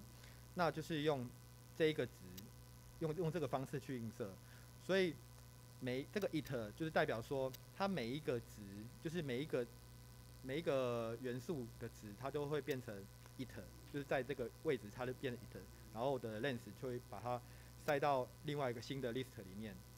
那所以这样子，我们就会更清楚得到说，这个 name 经过我们的 map 转换之后，我们会希望把它的它每一个元素的 length 转换成，然后转应该说把它的每一个元素 string 转成它的 length 这样子，然后之后可能就把它为了要显示，我们把它列印出来这样子。所以同样的，我们跟前面的来比较，就是这个这段函数。它也是用了比较少的程式码就完成一样的动作。那我们也看一下这个图，就是呃，list 呢，它是左边是输入一个 t，也就是说我们输入的是一个刚刚是看到那个是一个 string。那经过我们的转换呢，我们的转换是会把这个呃 string 转成 integer。那这个转换过程就是我们在我们我们要在我们的呃我们的函数里面去做一个动作。那我们在我们在前面的例子就是我们会在呃这个动作呢是用这个呃 lambda expression 来做一个定义。那在这个结果会出来的会就是一个 list r，这个 r 就是 integer，所以转换呢就是把 string 转换成 integer，所以它会是不一样的型别。那第三个呢是我们的合并，那合并呢就是呃合并呢就是我们刚刚有提到说，它会把所有的值，把 list 里面的值去把它集合变变成一个单一的值，所以我们用一个例子来一个来做一个示范哦，就是假设我们有一个 list，它只有 integer，然后我们希望加总它，那加总它变成一个 sum。那当然，我们可能用用传统的方式，我们可能用一个 for 回圈来去做嘛。那为了要把它包成一个函数，我们就是用这样子的方式，可能呃传入一个 list，那叫做 numbers，然后我们会把先定义一个呃铝造，那铝造是一个可变的，然后它是一个零，那其实只是零嘛。然后经过经过这个 for 回圈的处理，我们把所有的值加总，就叠加起来，然后得到一个铝造，所以就会是这样子的一个结果。那当然，这个结果就会是就会是五十五，就是一个正确的值。就是我们当我们的 list 是一到十的话，那结果就会是这样子。那这边介绍一个可并的一个呃一个函式，叫做 reduce。那 reduce 它是 reduce 它是这样用，就是它里面需要需要两个两个这个呃参数，一个叫做 acc，i acc 就是加总值，那 i 呢 i 就是现在这个值，那那它会做什么事？那它会做 acc 加 i，也就是说它会叠加嘛。那 reduce 的 acc 一开始的预设的 acc 就是第一个，然后所以它会从第二个开始加，所以它会这样加上去，加上去。那我这边没有画图，如果有画图会更更清楚。那其实 reduce 有一个兄弟，就是叫做呃 fold，fold 就是有一个有一个零，就是它有带一个初始值。那因为篇幅关系，所以我把它拿掉了。那所以呃，我们这边用的是 reduce，就可以把这个加法的东西，就是呃我们刚刚说上的一个动作，去把它加起来。那其实，在在 Kotlin 里面的 Standard Library 里面有提供一个更简单的一个方式，叫做 sum。那这个上呢，就是它可以把这个 list 去把它加起来，就把里面的值全部都加起来。那所以这个上就可以做完刚刚呃 reduce 做的事情，这样子。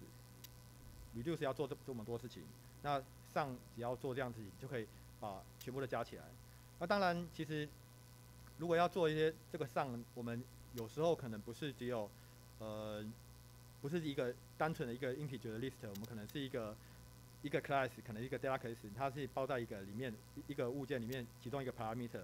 那这样子的话，我们可能可以用上百之类的东西，或者是用我们刚刚前面用用的是 reduce 之类的东西来去做一些变化。那不管怎么样，我们用的所所写出来的程式码都会是比原本来来来的少。那看一下这个合并的这个图哦，就是我们传进来的是一个 list t，那经过我们的转换之后，那会得到的是一个 r，那这个 r 就是经过它可能经过压缩啊，或者经过它处理之后，它会得到一个结果，那这个结果它就不是会是 list 了。好，那所以我们这边，所以我们这边已经学学习到了，就是呃 functional programming 它有三种类型的函式，分别是刚前前面提到了，就是呃 filter，哎，我把它切到前面了。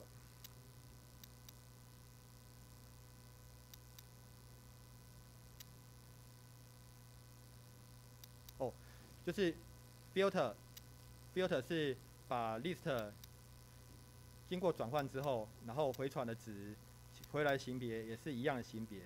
那第二种是 transform 转换，那转换就是把带进来的值带带进来的型别，经过转换之后，它会变成另外的型别，那它还是 list。那第三种是 combine，就是合并。那合并呢，就是它把带进来的值经过转换之后，它可能会变成一个单一的值，它就不会是 list。所以有这样三三大类型的函式。所以呃，接下来我们就会用这样子的函式来去做做一个做一个组合，就是针对针对这些嗯、针针对我们可能会遇到的需求，会用这这样这样子的函式来去做一些组合搭配。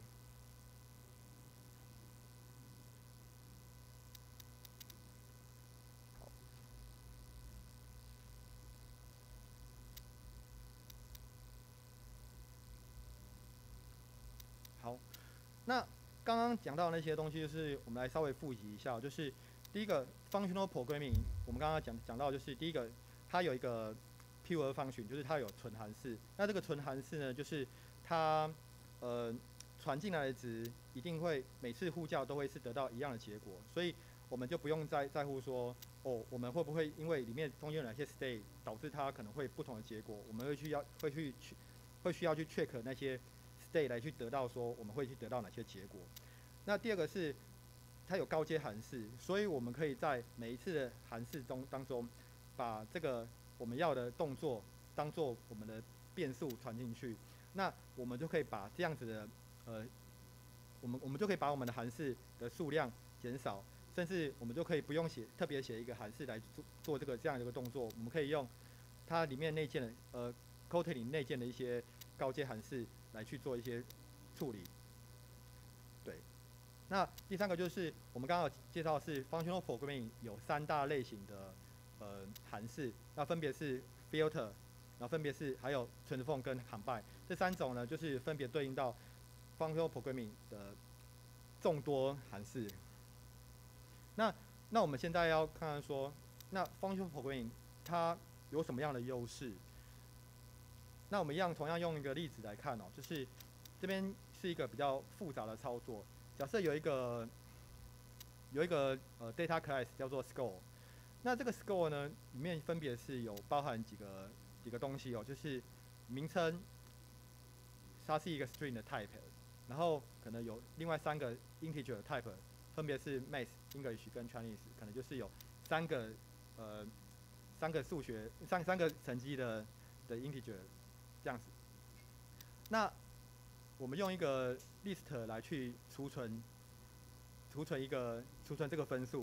那分数可能是，比如说 Andy 啊，可能是八十七十九十，然后呃 Colin 可能叫做 Kiss 八十九十，然后这边有四个人有这样子的一个分数列表这样子。那我们今天想要做的事情呢是什么？就是我们希望说，我们把数学成绩最高的前三名找出来，然后我们把它转换成 map。这样子，那所以，我们希望说，把钱上面找出来用 map。所以我们首先我们先定义我们的函式名称。那这个函式名称我们可能叫做呃 sort map to sort math to map to map 这样。那我们 input 的值会是什么？我们 input 会是一个 list score。所以我们带进来的是一个。分数的一个列表，那这个列表呢，它是一个 list，那我们希望转出来的是一个 map，转出来是一个 map，那分别是用呃它的名称当做 key，那它的分数当做一个 value，那我们会怎么样做呢？首先第一步呢，我们会希望说，我们先把呃我们先把这个 list 先排序。排什么序呢？用什么排序？我们先用数学成绩来排序。所以呢，在这边我们用一个叫做 sorted with 这个函式。那 sorted with 呢，它是一个呃，它是一个函式，它做用它是用来做一个排序的动作。那后面呢，我们可以带入一个叫做呃 compare by compare by 带入的是一个一样是一个这个 lambda expression，就是一个匿名函式。我们用这个 it math 来做一个比对，所以呢，它带进来这个 list，它会知道说它里面的 it 就包含这个 mass，所以它就可以用 it 里面的应该说用 mass 来去做一个比较，所以它就可以它就可以比出来。但是这样子的动作，它是由低到高，也就是说它是从分数低的到分数高，所以这个不符合我们的需求，所以我们。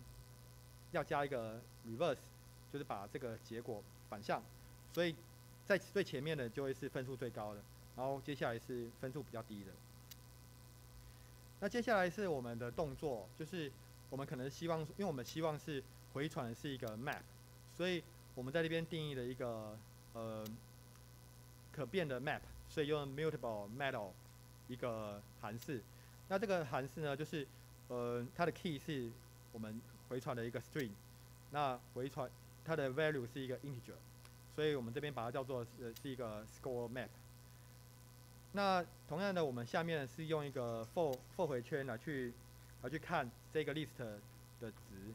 那因为我们已经把这个 list 呃排序过了，所以我们用排序过了这个值来去做做一个转换。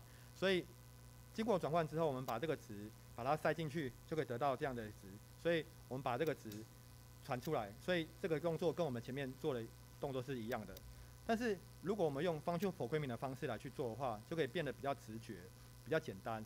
第一个是我们希望把它排序用呃由高到低的方式去排序，然后第一行就解决了。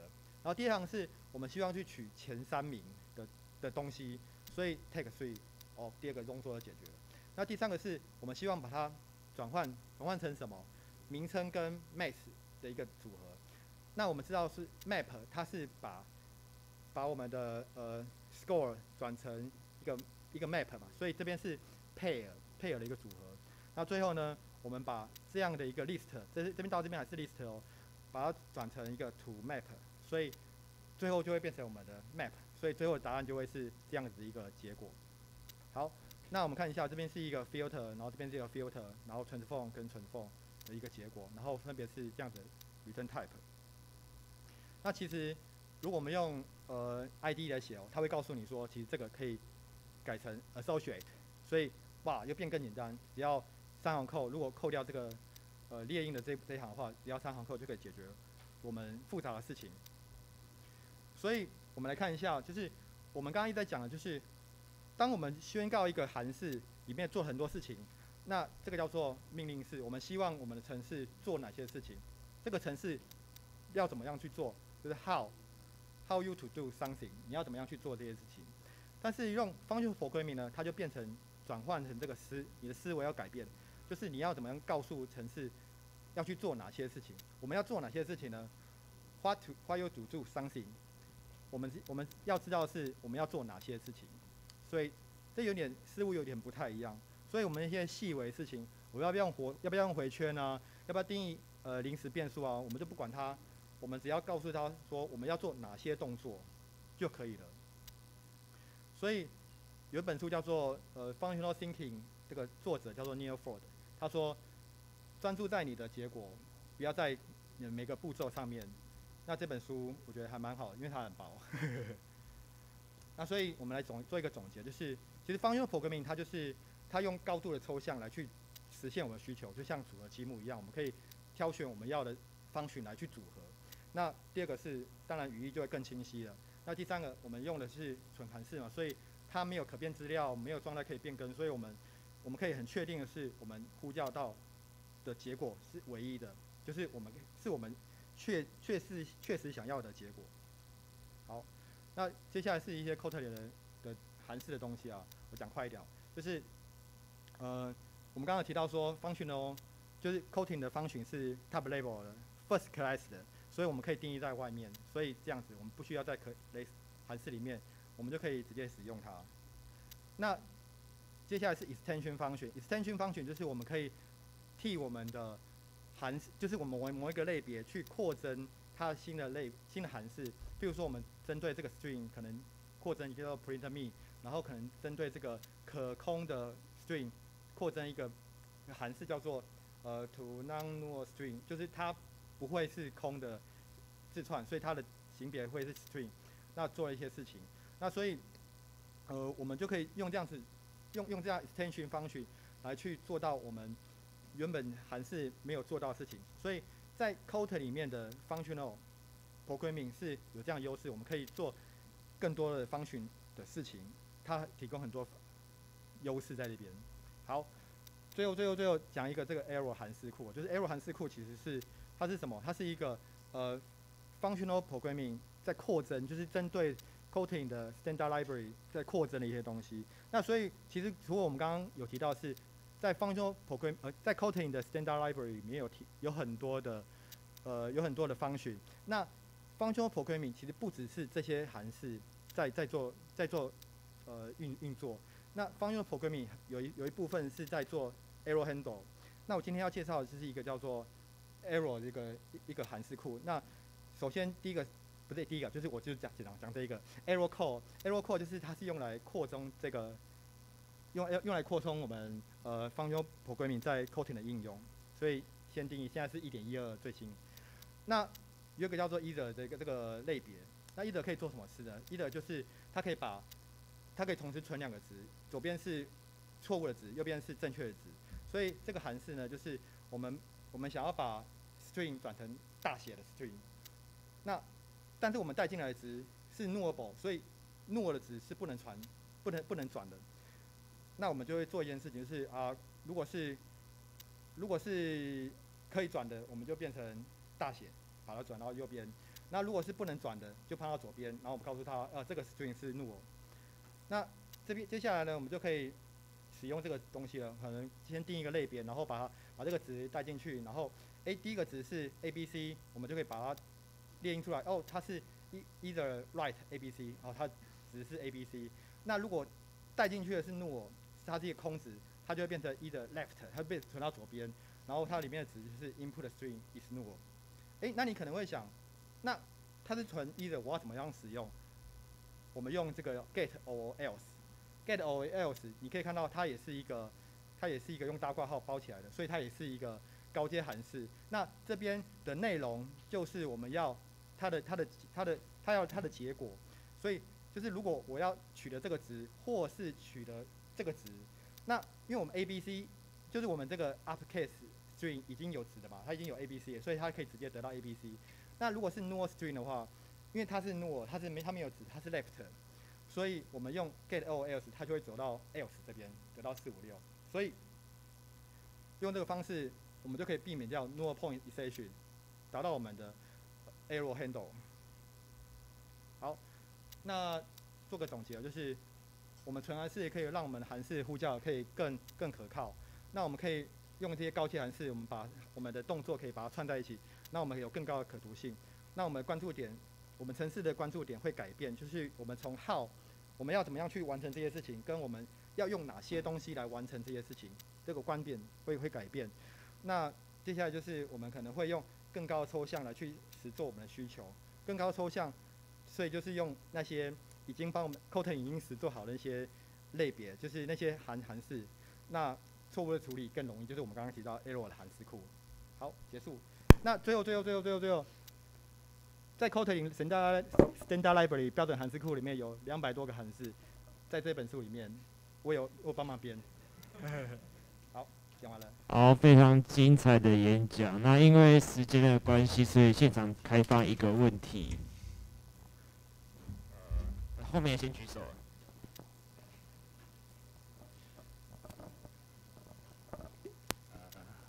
是，谢谢。就是我的问，我有两个问题想想问一下你。呃，第一个就是关于 functional programming 在在实作中的应用，你呃你在你的工作中的 project 里面会不会去用像一些 RX 的这些这些 library，还是说用刚才的那个那个 library 都已经可以做到，就是不需要再用 RX 的，因为外面有很多 RX 的一些 library 嘛，RX 那那个吗？呃，其实我觉得是看看需求了，因为这个就是比较像 Kotlin Standard Library，它是比较着重在这个呃 collation 上面的的运作，所以针对那些运作呢，我们可以用那些方群来去组合。那其实它里面就已经提供两百多个去函式，针对这些运用来去组来去使用。所以如果没有其他的运用的话，就是单纯处理这个 list 的 collation 的方式的话。用原原生就可以。那刚刚提到 error 的话，就是我们如果要用 functional programming 这个东西的话，我们就是用呃，因为原生是没有这些东西，像 either 啊，或者是 option，或者是一些一些在 functional programming 业界很流行的这些 class，他们会用这些 class 来处理 error。那这个在原生的 Kotlin 的 standard library 是不存在的，所以我们就可能就要用其他的第三方的 library。那最现在最最多人用就是这个 error 的 library。那我刚刚提到 error Core，就是它主要是用这个来去做这个扩增。那刚刚讲到 RX，我觉得 RX 可能它的功能更强大。可能如果说你是这为了要做 functional programming 的话，或许你不一定需要用 RX，因为 RX 它的功能比较强大。想再问你一个问题。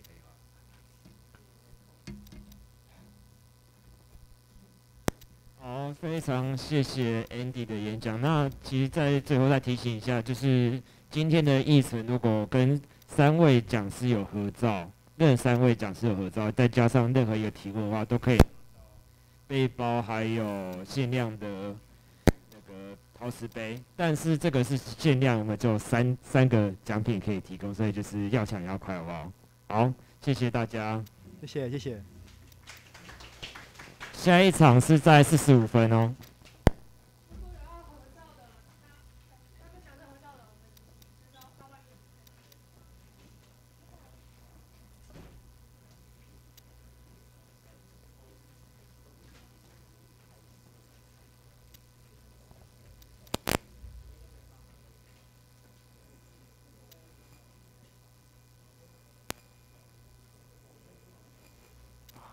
啊，就就你是投影片，其他的尸体对，因为那个他们的人跟我们说，就是建议我们用 PDF，哦所以我全部都建议他们转 PDF 这样。哦，对，反正他刚好也有 PPT。OK。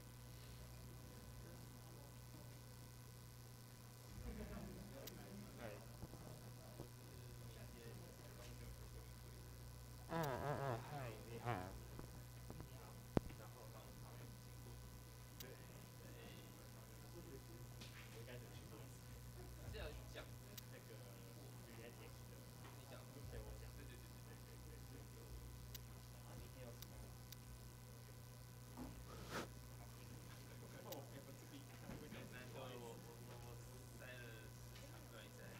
哦，你塞很多哎、时长很多。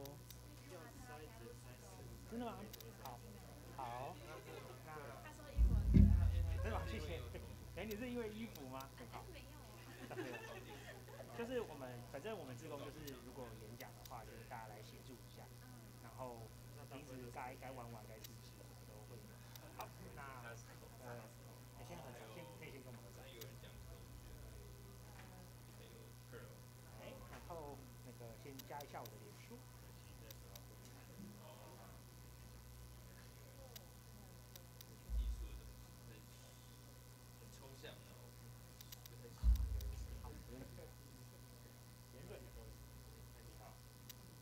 先找阿姨，不是正右应该。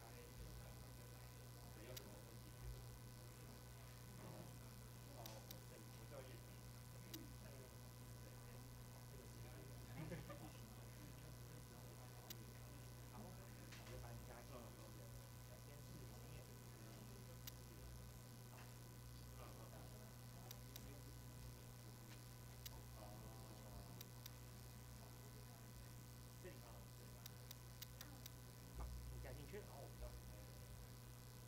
就就可以自荐一下。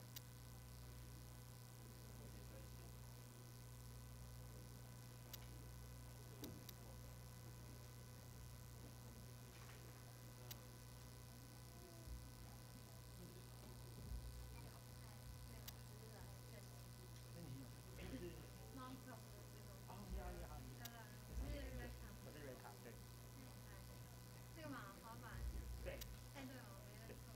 没错没错，那个，那你可以先加我们的自工群，以后我们有滑板邀约会在这边加。你先加我的好友，先找 R E C C A。对，Facebook，我们统一用 Facebook 的那个聊天室来。这是第一个。第二个，第二个，第二个，第一个是想说你好吧。吓死了，对，我也不知道那是什么。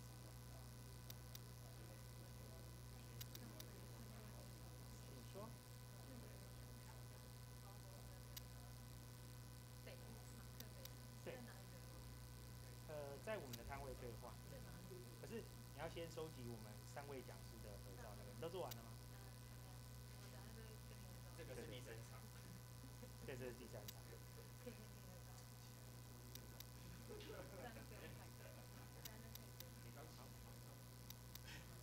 好，奇怪，你的名字我没找到，C H。然后 R。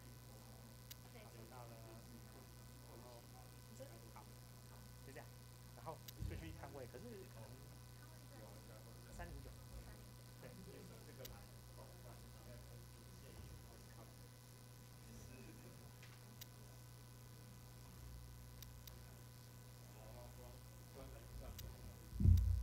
喂，关关门放狗喽。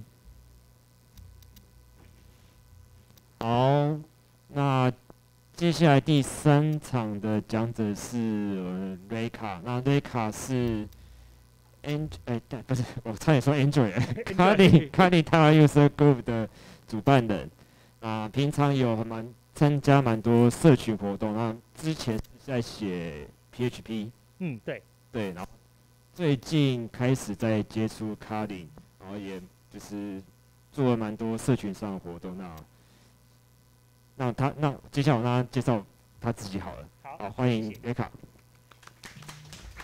帮我按一下播放，我有点找不到播放在哪。来，交给你。投影片放映嘛。那欢迎大家。那今天我要来聊的话题是 Kotlin 的五个四大天王，我们来聊 Kotlin 的 Scope Function。那首先还是先简单的自我介绍一下，就像刚刚彦斌讲的，我一开始写程式的时候是接触那个 PHP 这个程式语言，用来写后端。那 PHP 这个程式语言呢，我觉得它快速开发的时候非常棒，可是它在遇到一些情境，比方说今天我们可能要处理非同步的需求，可能有一个人进来他会读档案，那读档案的时候，我希望他不要被读档案这件事情阻挠，我要他能够先处理后面来的用户。那这件事情在 PHP 这个程式语言上就非常麻烦，所以我那时候一边研究 PHP 这个程式语言，一边我也在找寻，就是说如果遇到这个情，遇到刚刚我讲这种需要非同步的情境，那有没有办法可以找到一个呃替代的方案？那我在找了一阵子之后，我从二零一九年开始接触 Kotlin 这个城市语言，然后就觉得说，哎，这个是我觉得很优雅，然后很棒的一个方案。然后呢，呃，下面就是大概我研究 Kotlin，然后在一些各大年会或者地方的那个经历。就我在二零二零年的 J C C O M 的时候介绍了 Kotlin 的 Coroutine。那二零二一年的时候，呃，刚好那时候台湾 Kotlin User Group 管理有一些事情，所以我就接手下来。成为了台湾 Kotlin User Group 的管理员。然后，二零二一年我讲 Cater，这是一个呃 Kotlin 网页后端开发所使用的框架。然后再来是在二零二一年 MarkCon，我分享了 Kotlin 的自动测试怎么做。然后还有就是二零二一年的 Kotlin 中文开发者大会，这是一个线上活动，我们跟呃香港还有中国等等的 Kotlin 开发者一起讨论，就我们对 Kotlin 开发的一些经验等等。好，那讲完正题了，接着我们要讲 scope function。scope function 呢，这个概念可能大家很陌生，因为不是所有的语言都有 scope function。那 scope function 到底是什么？在官方的说法是，呃，Kotlin 标准的 library 里面，它就包含了这几个 function。那它的主要的目标是去在一个 object 的 context 里面，就我们今天进来一个物件，然后我们在这个物件底下，我们执行一段 code。这样说可能大家还是觉得哎很模糊啊，就是没有办法想象他在做什么事情。我们可以来看一下这段 code，大家有没有人可以想出他在做什么？想出来可以举手回答看看。好，请说。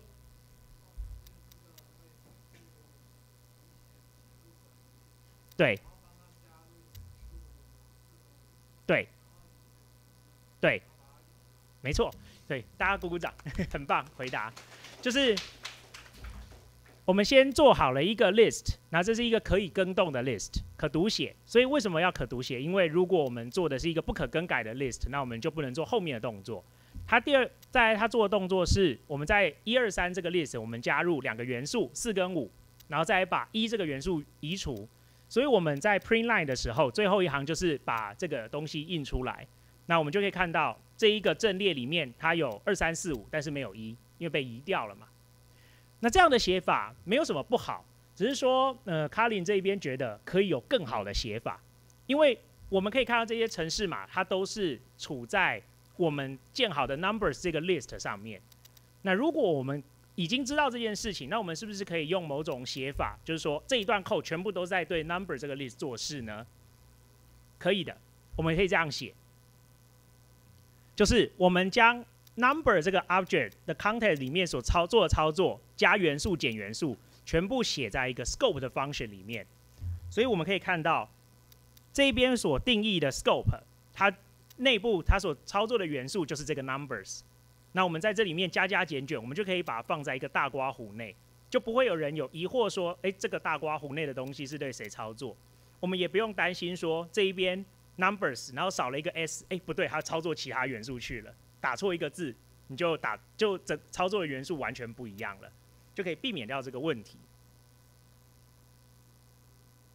好，那这样子的做法，它可以让我们城市的意图更加的清楚。那我们呢，scope function 到底有几种？其实我们今天就来简单的把它区分一下，用我们这边会用几个呃二元的方法来区分 scope function 的不同。其中一个不同是 scope function 它回传值到底是什么？这时候还有两种选择，第一个是我们的 lambda result，就是我们在那个 scope 里面它跑完之后它回传的值。那第二种是我们的 context object，就是它跑完了之后，它实际回传的就是我们前面的被呼叫呼叫 scope function 的那个 object。我们来实际看一个案例。以这个案例来讲，我们像前面一样，我们宣告一个 mutable list，然后我们呼叫了 run 这一个 scope function，然后我们加入两个元素之后，我们可以看到 run 的回传值。回传的其实是 true，它回传的值呢，其实是我们 add five 之后的 lambda results，可以消化一下。就是一其中一种呢，是我们这个 lambda 跑完之后，这一个的回传值是什么，我们的 result 就会收到什么。与其对应的是像 apply 这一个 scope function，那我们跑完了 add five 之后，apply 的回传值并不是 true。而是它把这一个 numbers 这个 object 直接回传回去，这是呃 scope function 的两大类，其中一类是回传 context object，其中一类是回传 lambda 的 result。那透过这样子的区分，我们可以将呃 lambda 那个 lambda function 把它区分成 also 跟 apply 这两个 lambda 呃这两个 scope function，它是回传 context object。那如果是 let 跟 run 这两个 scope function 呢，它回传的是 lambda result，所以我们在前面的 run，如果这边我们改成 let 的话，那这一边的 result 一样是回传 true。那如果这一边是 also 的话，那我们这边的 result 就会变成一样是那个我们的 context object。好，这是其中一大类区分的方式。另一大类区分的方式是，我在这一个 lambda 里面，我要怎么去抠我的物件？就是我们在 lambda 里面是不可避免的，我们一定会去抠呃我们原本的对应的 context object 嘛，因为这就是我们 lambda function 呃我们的 scope function 在做的事情。我们在这个物件底下我们要做什么操作？那我们要怎么抠它呢？有两种方式，其中一种是用 it 这个关键字去呼叫到这个。物件，另一种是用 list，那 list 的话，我们就可以省略掉它，所以这也是为什么刚刚在我们的范例里面没有看到 list 的原因。比方说，像 let 这一个函式，它是使用 it 这个关键字的，所以我们在里面我们要取得 numbers 的话，我要对 numbers 做操作，我们就会用 it。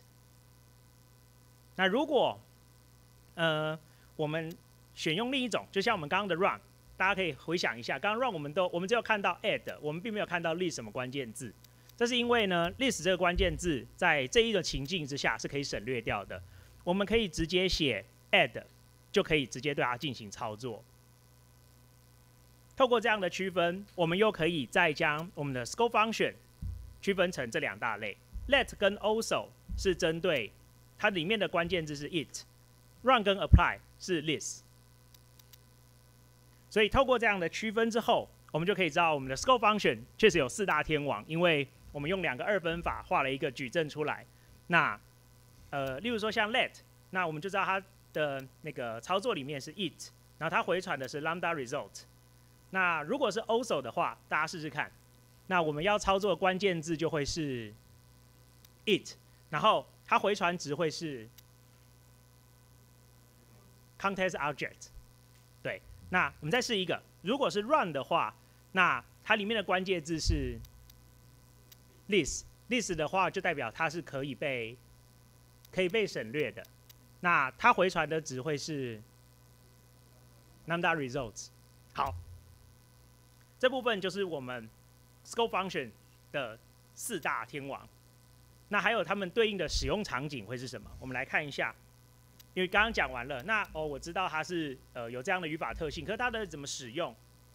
其中一个 let 这个字，我们有没有人知道它在英文里面的意思是什么？啊，上面有写让跟令，没有你这样子讲其实不好不清楚啊。有没有？例如说，我们可能用一个英文句子来就是解释这个字怎么使用。Let's go，就是说，哎，我们要走了，就 Let's go 嘛，对不对？好。那这一个 let 函式，它在命名这个的时候，其实它就注意到，哎，我们要让这一段的程式语法要更容易懂，所以 let 这个函式，我们通常会用在我们对物件进行操作的时候，我们可以使用 let 这个 scope function。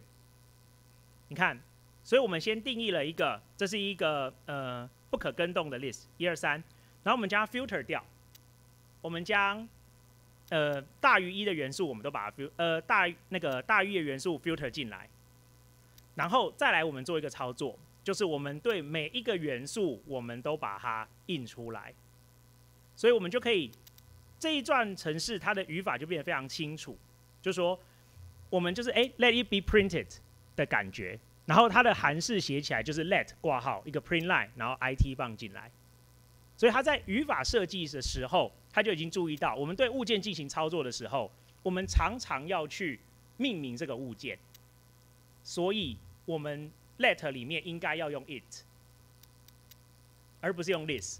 为什么？因为如果你用 list 的话，你就要常常把那个 list 打出来，然后就要多打两个字，很不方便。好，然后另一个 let 的用法是，呃，我们在城市里面常常要判断。我们的城市码是不是 NO？那我们过去的写法可能就会呃，if 这个等于 NO 的话，我们就把它 reject 掉，或者是我们就呃不做下面的某段式，else 我们才做下面的某段式。但是在 Cali 里面呢，我们有另一个东西，就是问号点这一种 operator。那我们可以搭配问号点这个 operator 往下进行操作。怎么做呢？我们可能收到一个 string。那它是一个可以为诺的 string，可以为诺的 string 在 Cali 里面要特别的标记，所以我们会后面标一个问号，代表它是可以为诺的。那我在计算它的长度的时候，我呃首先我先判断它是不是诺，如果它不是诺，如果它是诺的话，它就会不做后面的事情。那如果它是诺的话，我们就让它执行 let 的部分。那 let 的部分第一行我们先。print line 就印说，哎，我们已经抠到 let 的函式了。那第二行我们做什么？我们回我们呼叫了它的 length。那为什么我们可以这么做？因为 let 我们来回顾我们刚刚的矩阵，let 它回传的是一个 lambda 的 result。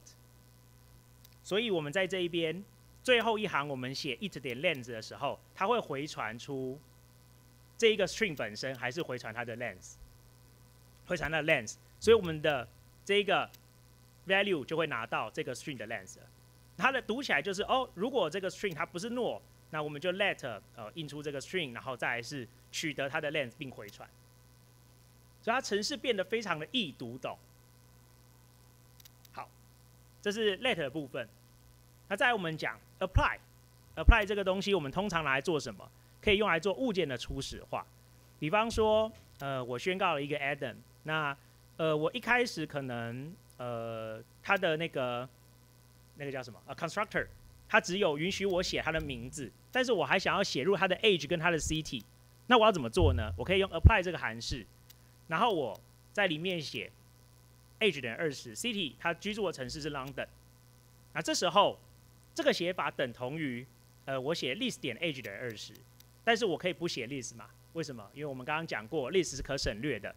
那这样子的一个写法，我们就变得很简单，因为我在这个物件里面用 apply，我显然就对这个物件操作，然后我将它所有的我想要写入的 optional 的 attribute 全部写在里面。它读起来的语法就像是 apply age and city to Adam 这个 person。所以它读起来也变得非常好懂。第三个就是 run，run 这个函式就如同它英文的意意义，就是我们拿它来运作嘛，就是我们打分的 run on 什么东西。那我们可以用它来对这个物件做初始化，同时对它进行操作。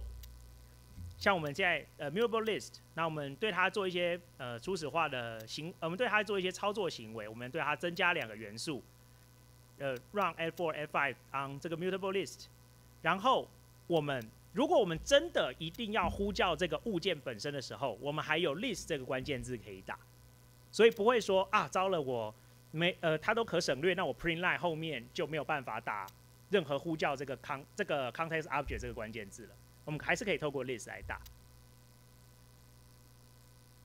好，最后一个叫做 also，also 就是它的那个跟它的字一样，字义一样，就是呃我做了什么事情，also 我也做了什么事情，它可以用来做一个附加的操作。比方说，我宣告了两个变数，然后我要将这两变数对调。过去可能大家都学过嘛，就是说我先写一个呃那个变数 c。然后将 A 倒给 C，然后 B 倒给 A，然后 C 原本装着那个 A 的那个 C 再把它倒回给 B，这两个变数就交换了。那其实我们可以不要这么做，我们用 A 点 A 等于 A 等于什么呢？B also B 等于 A，B 等于 A 这一段会先运作，它会呃会运作起来，它会把那个 A 这个变数倒进给 B，然后 also 会回传什么？大家有没有印象？没有印象了，我们来看一下前面的矩阵。also 它会回传什么呢？来，大家看着讲一次，它会回传 context object。所以我们这个 b 它会回传 b 点 also b 等于 a，它会回传什么？一开始的 b，所以就变回传二，也就是我们的这一个 那个 a 就会拿到二，那 b 最后就会拿到一。也就是说，我们用这样简单的一行程式，我们就可以把变数兑换了。那它读起来好不好懂？也很好理解，就是把 b assign to a，also 我也把 a assign 给 b，所以这两个变数自然而然就会对调嘛。好，到这边先暂停一下，各位有没有问题？针对这四个那个 scope function。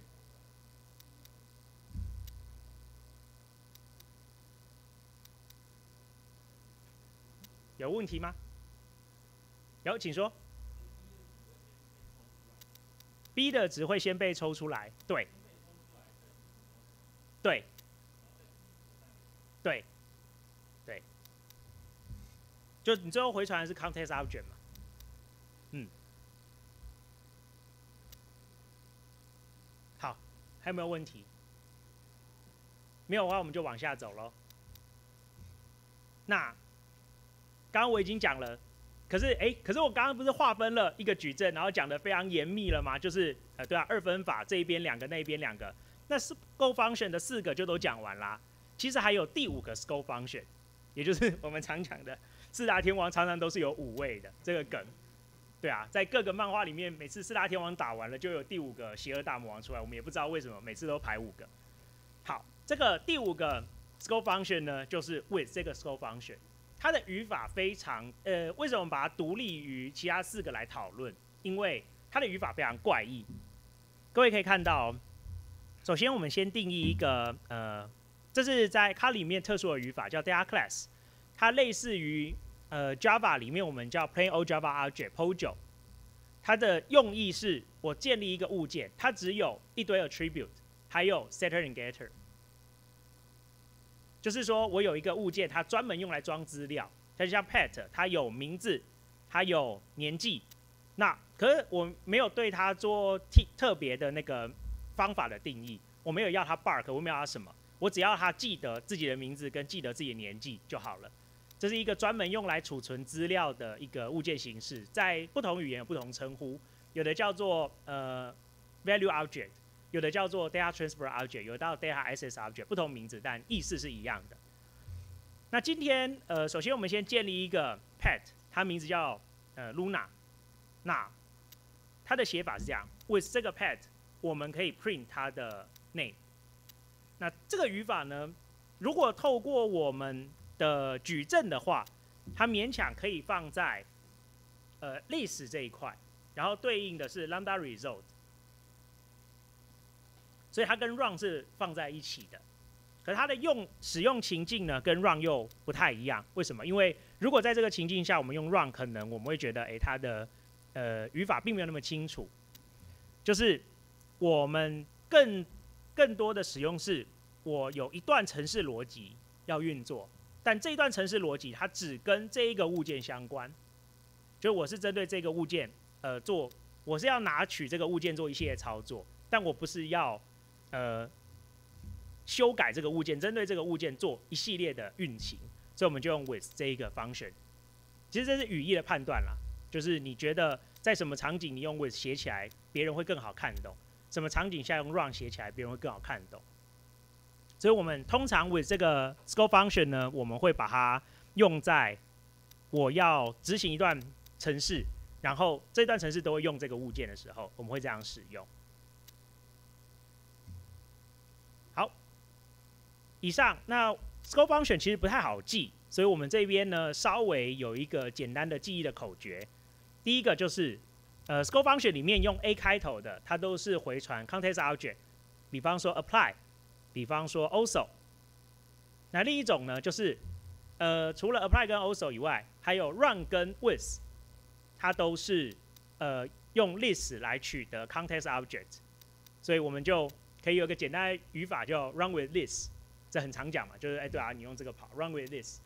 然后另一个就是呃有两个 function 都是用 it 的，就是 also 跟 let，所以我们就哦 also let it be，就 let it be 是一个片语嘛，很常使用的片语，然后 also，所以呃 also 跟 let 这两个 scope function 它都是存取的 context object 的关键字都是 it，用这样的方式可能就会比较好记说，哎，在哪一个 scope function 里面它进行操作的时候是使用嗯哪一个 function 这样子。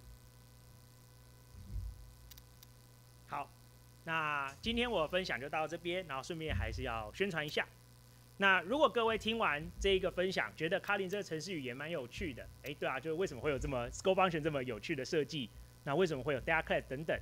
那你想要学习的话，可以来到我们那个卡林点 tips 这一个官方网站，然后那个它里面我们会举办读书会，然后练功房，可以让各位练习。那再来是呃，因为就如我自介的时候说的，我是台湾 Kali User Group 的 host，那我们也做了一个 GitHub 网站，那欢迎大家就是扫这个 QR code，然后嗯点进来看，里面有一些教学的资源。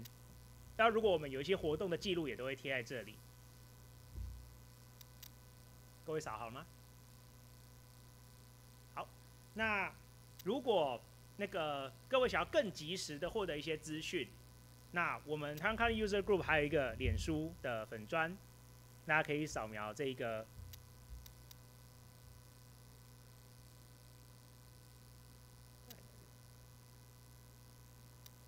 大家可以扫描这个 QR code 进来。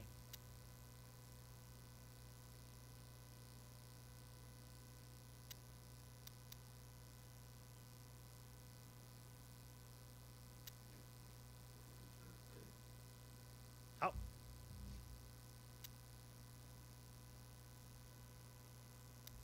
哎，哦，最后是这一张，呃，其实是这样，是我最近呢，因为我们在推广活动的时候，然后我们发现。呃，如果我们要收一些呃收费的演讲，那我们可能会遇到一些那个，就是像马康他们是举办了一个，这个他们是叫什么基金会？那我们不是用基金会形式，我们是用公司的形式。未来如果要呃举办任何跟卡林相关的收费的演讲或者收费的活动，我们可能会透过这一个那个这一间公司的名义去进行举办这个活动。那这是我跟我。朋友一起想的名字叫兔给德，叫兔给德 资讯公司。那大家也可以扫描一下，然后那个点个赞。以后如果有任何兔给德资讯公司举办活动，我们都会在上面公布。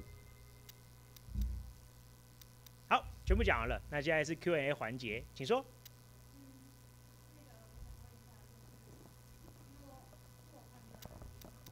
就是假设今天我的方讯我传了三个值，A、B、C，那它嗯。都是 knowable 的。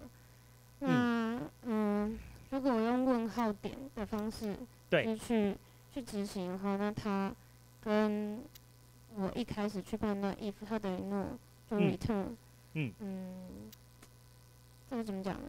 它的效能上会有影响吗？应该说，假设我用 let 好了对，let 就等于说 A 点 A 问号点 let，然后它要 B 问号点 let，再 C 问号点 let。对。对，那这个跟如果我写成 if A 等于 no，或者是 B 等于 no，或者 C 等于 no，、我就嗯直接 return。嗯嗯、这两个方式比起来的话，它们的效能上会有差异吗？效能嗯上、逻辑上是不会有差异。为什么？嗯因为例如说你用 if a 等于 no，那我们就把它 return 掉。那那如果你呃刚好 a no a 等于 no 的话，那所有它就不会再往后判断 b 跟 c 是不是 no。对，那如果它往后 b 有可能是 no，跳掉了 c 就不会再进行判断。那如果透过用 let 用 scope function 这种写法，它其实一样的，就是第一个变数如果它是诺那我就是不会执行整个 let 里面，也就是说我也不会去执行 b 与 c 的判断了。对，那我执行完 let 之后，我在 let 里面我再做针对那个 variable c 跟 variable b variable c 是不是 no 的一个判断。嗯。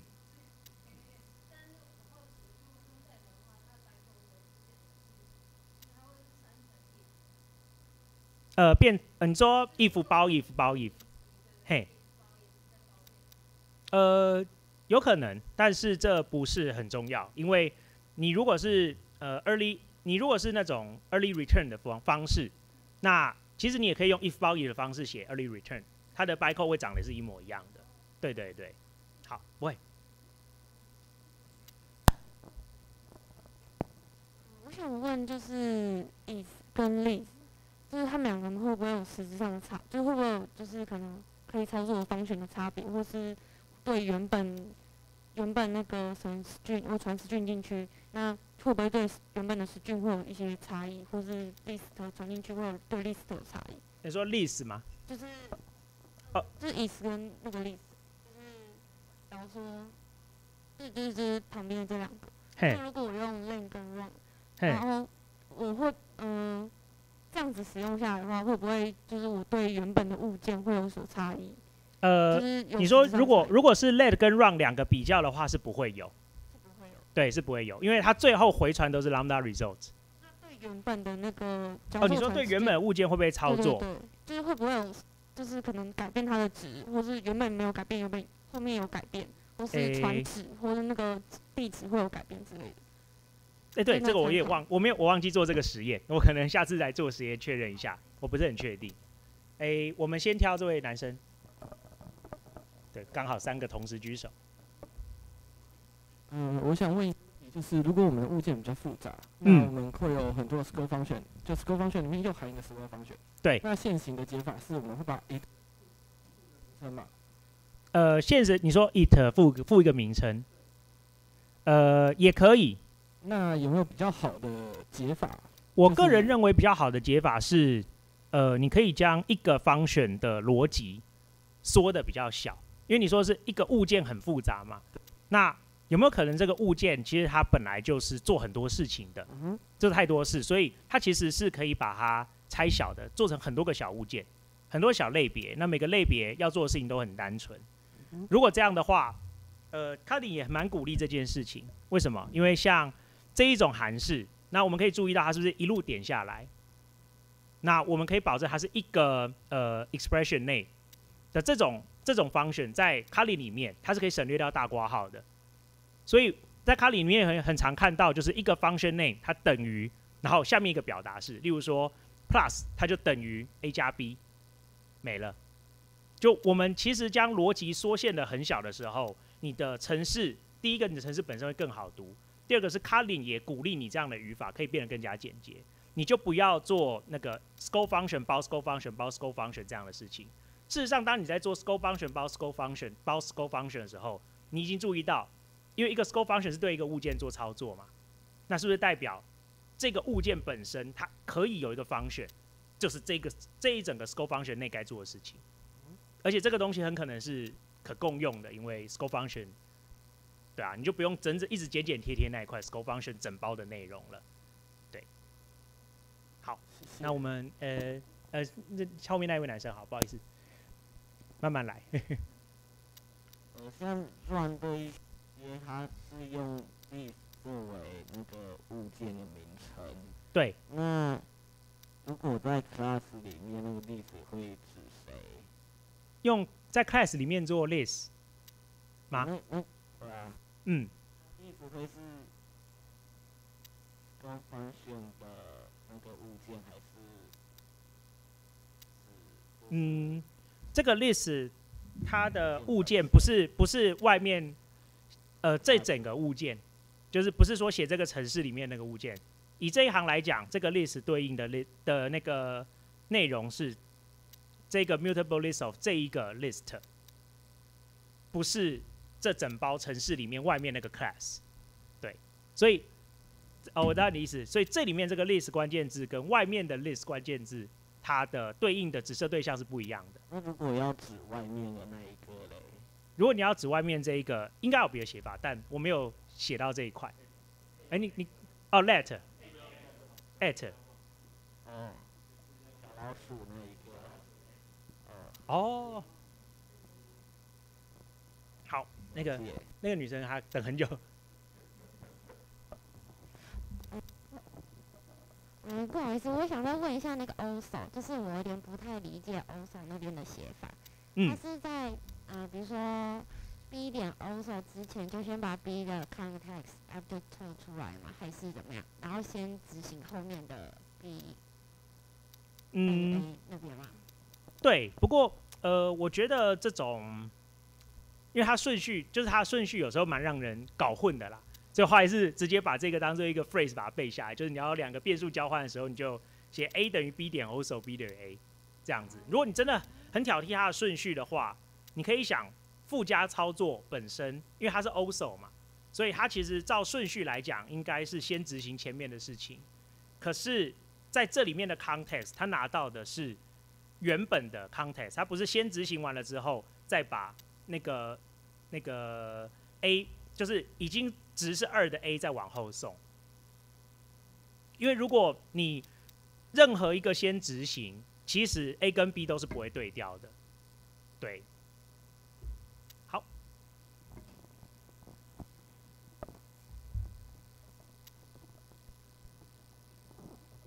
嗯，不好意思，我想问一下那个 with，with 你这个 with 是不是就没办法做 none 的判断？诺的判断，对，如果是 no 的话，他直接进去这样会不会有问题？呃，有可能，所以这样我前面是不是也还要加，比如说 pet，然后问号点 let，然后再点 with？如果你如果你用这样的话，你或者你可以用传统的 if pet 等于诺，我就把它 return 掉。这个写法在 Kotlin 里面依旧是支援的。哦，所以就是说我用你我用 with 的话，我我必须确保它不是 no。呃，这是一个，另一个是因为我们前面有说过，Kotlin 的那个宣告的时候，如果你这个值可以为诺的话，你要特殊标记。所以如果你不标记，你直接只写 value str 等于 string 的话，那这个值天性自然而然是不能够为诺的。所以你其实不用做这个判断。对嗯，但有时候有时候就是物件它传进来之后，它有可能会是 no 嘛？如果呃，卡林会在 compile 阶段帮你解决掉这件事情。如果你嗯传进来的东西有可能是 no，、但你却把它装在了一个你没有写问号的一个变数里面，在编译阶段，它就会告诉你说这样的写法是不被允许的。所以你可以很自很安心的说，如果我前面宣告了一个那个 pet，那它的那个对它它的那个类别是 PET，我没有打问号标记它可以为诺的话，我一定不会拿到诺。那这样我是不是用那个 run 比较好？就是 run 可以直接判断是非 no。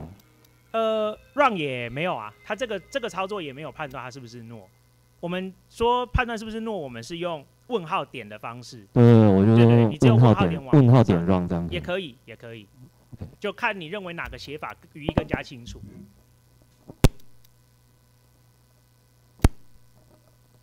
差不多了。好，嗯，哎，好，就是我，因为我我我 r t l 不太熟悉，所以刚刚听完还是不太懂 run 跟 with 的使用情境，所以我我好奇是不是，呃，其实 c a r t l 写很久的人自己都大大家都知道该怎么区别，还是说其实大家都有各自说法，以至于可能在 code review 的时候，呃，会吵架之类的。哦，有可能，这个这是很好问题，就是呃，code review 的写法，其实我认为更应该说是每个团队之间要互相的协调。比方说，呃，变数真的是那个小写开头，然后就是 camel case 吗？还是我就全小写用底线做区隔？然后我的排版是用 tab 还是 space？等等的这些问题都会是呃团队之间内部要协调。那像我刚刚讲的，我讲的只是在 c a r l i n 官网上的一个推荐。那可能有一些人他觉得没有，我觉得全部都用 Let，我一定都做得到。因为除了回传的内容不一样，跟里面的操作关键字不一样以外，其实是都是呃程式逻辑，你电脑都跑得出那些结果。那我就例如说我全部用 Run 或全部用 Let 都可以啊。但是你这样子写，对其他来看的人会不会觉得这一段不够简洁？语法上不够清楚是有可能的，所以这需要整个团队内部的讨论。好，好，啊，这个问题啊，哎，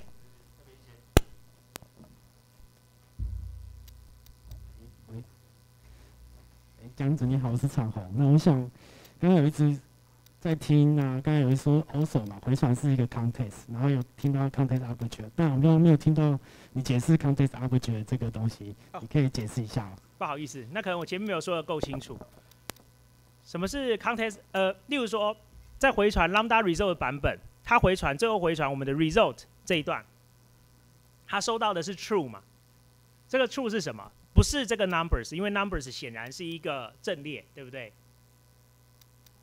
？OK，那这个 true 其实是 add five 这个 function 执行完之后它的回传。对，就哦，我成功的把五这个数字加进去了，所以我回传 true。那相对应的，如果我回传是 content object，content object 是这个东西，所以我的 numbers apply 之后的回传值是什么？是我的 numbers。对，好，这样可以理解了。好，不会不会。还有问题吗？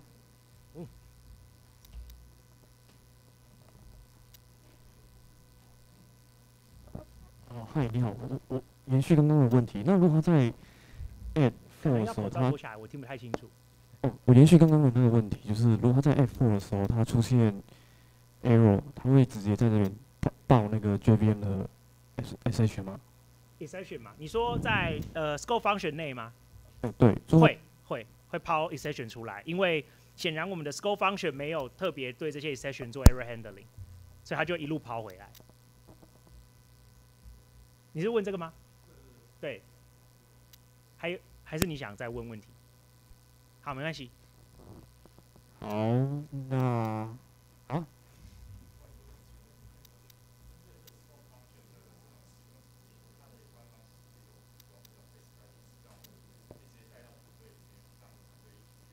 有的。混淆，对，有官方在讲 scope function 这里面，它有标记说，就是每一个 function 我建议你要怎么使用，对，使用的场景是什么。但刚刚有提到，就是说可能团队为什么说团队之间还是要磨合，是因为可能有些团队的成员他说，可是我觉得官方说的解读上跟你你的解读跟我的解读可以不一样，所以这个还是需要一个团队的磨合。嗯。好，那还有其他问题吗？呃，就是再再次说一下我们的活动，就是跟三位讲师合照加一个提问，就可以得到我们限量版的背包跟恒温陶瓷杯。那这个其实很抢手，依刚刚拍照跟提问的频率来看，应该是数量剩没有很多了。对，但也别气馁，其实这两个东西我都有，你知道为什么吗？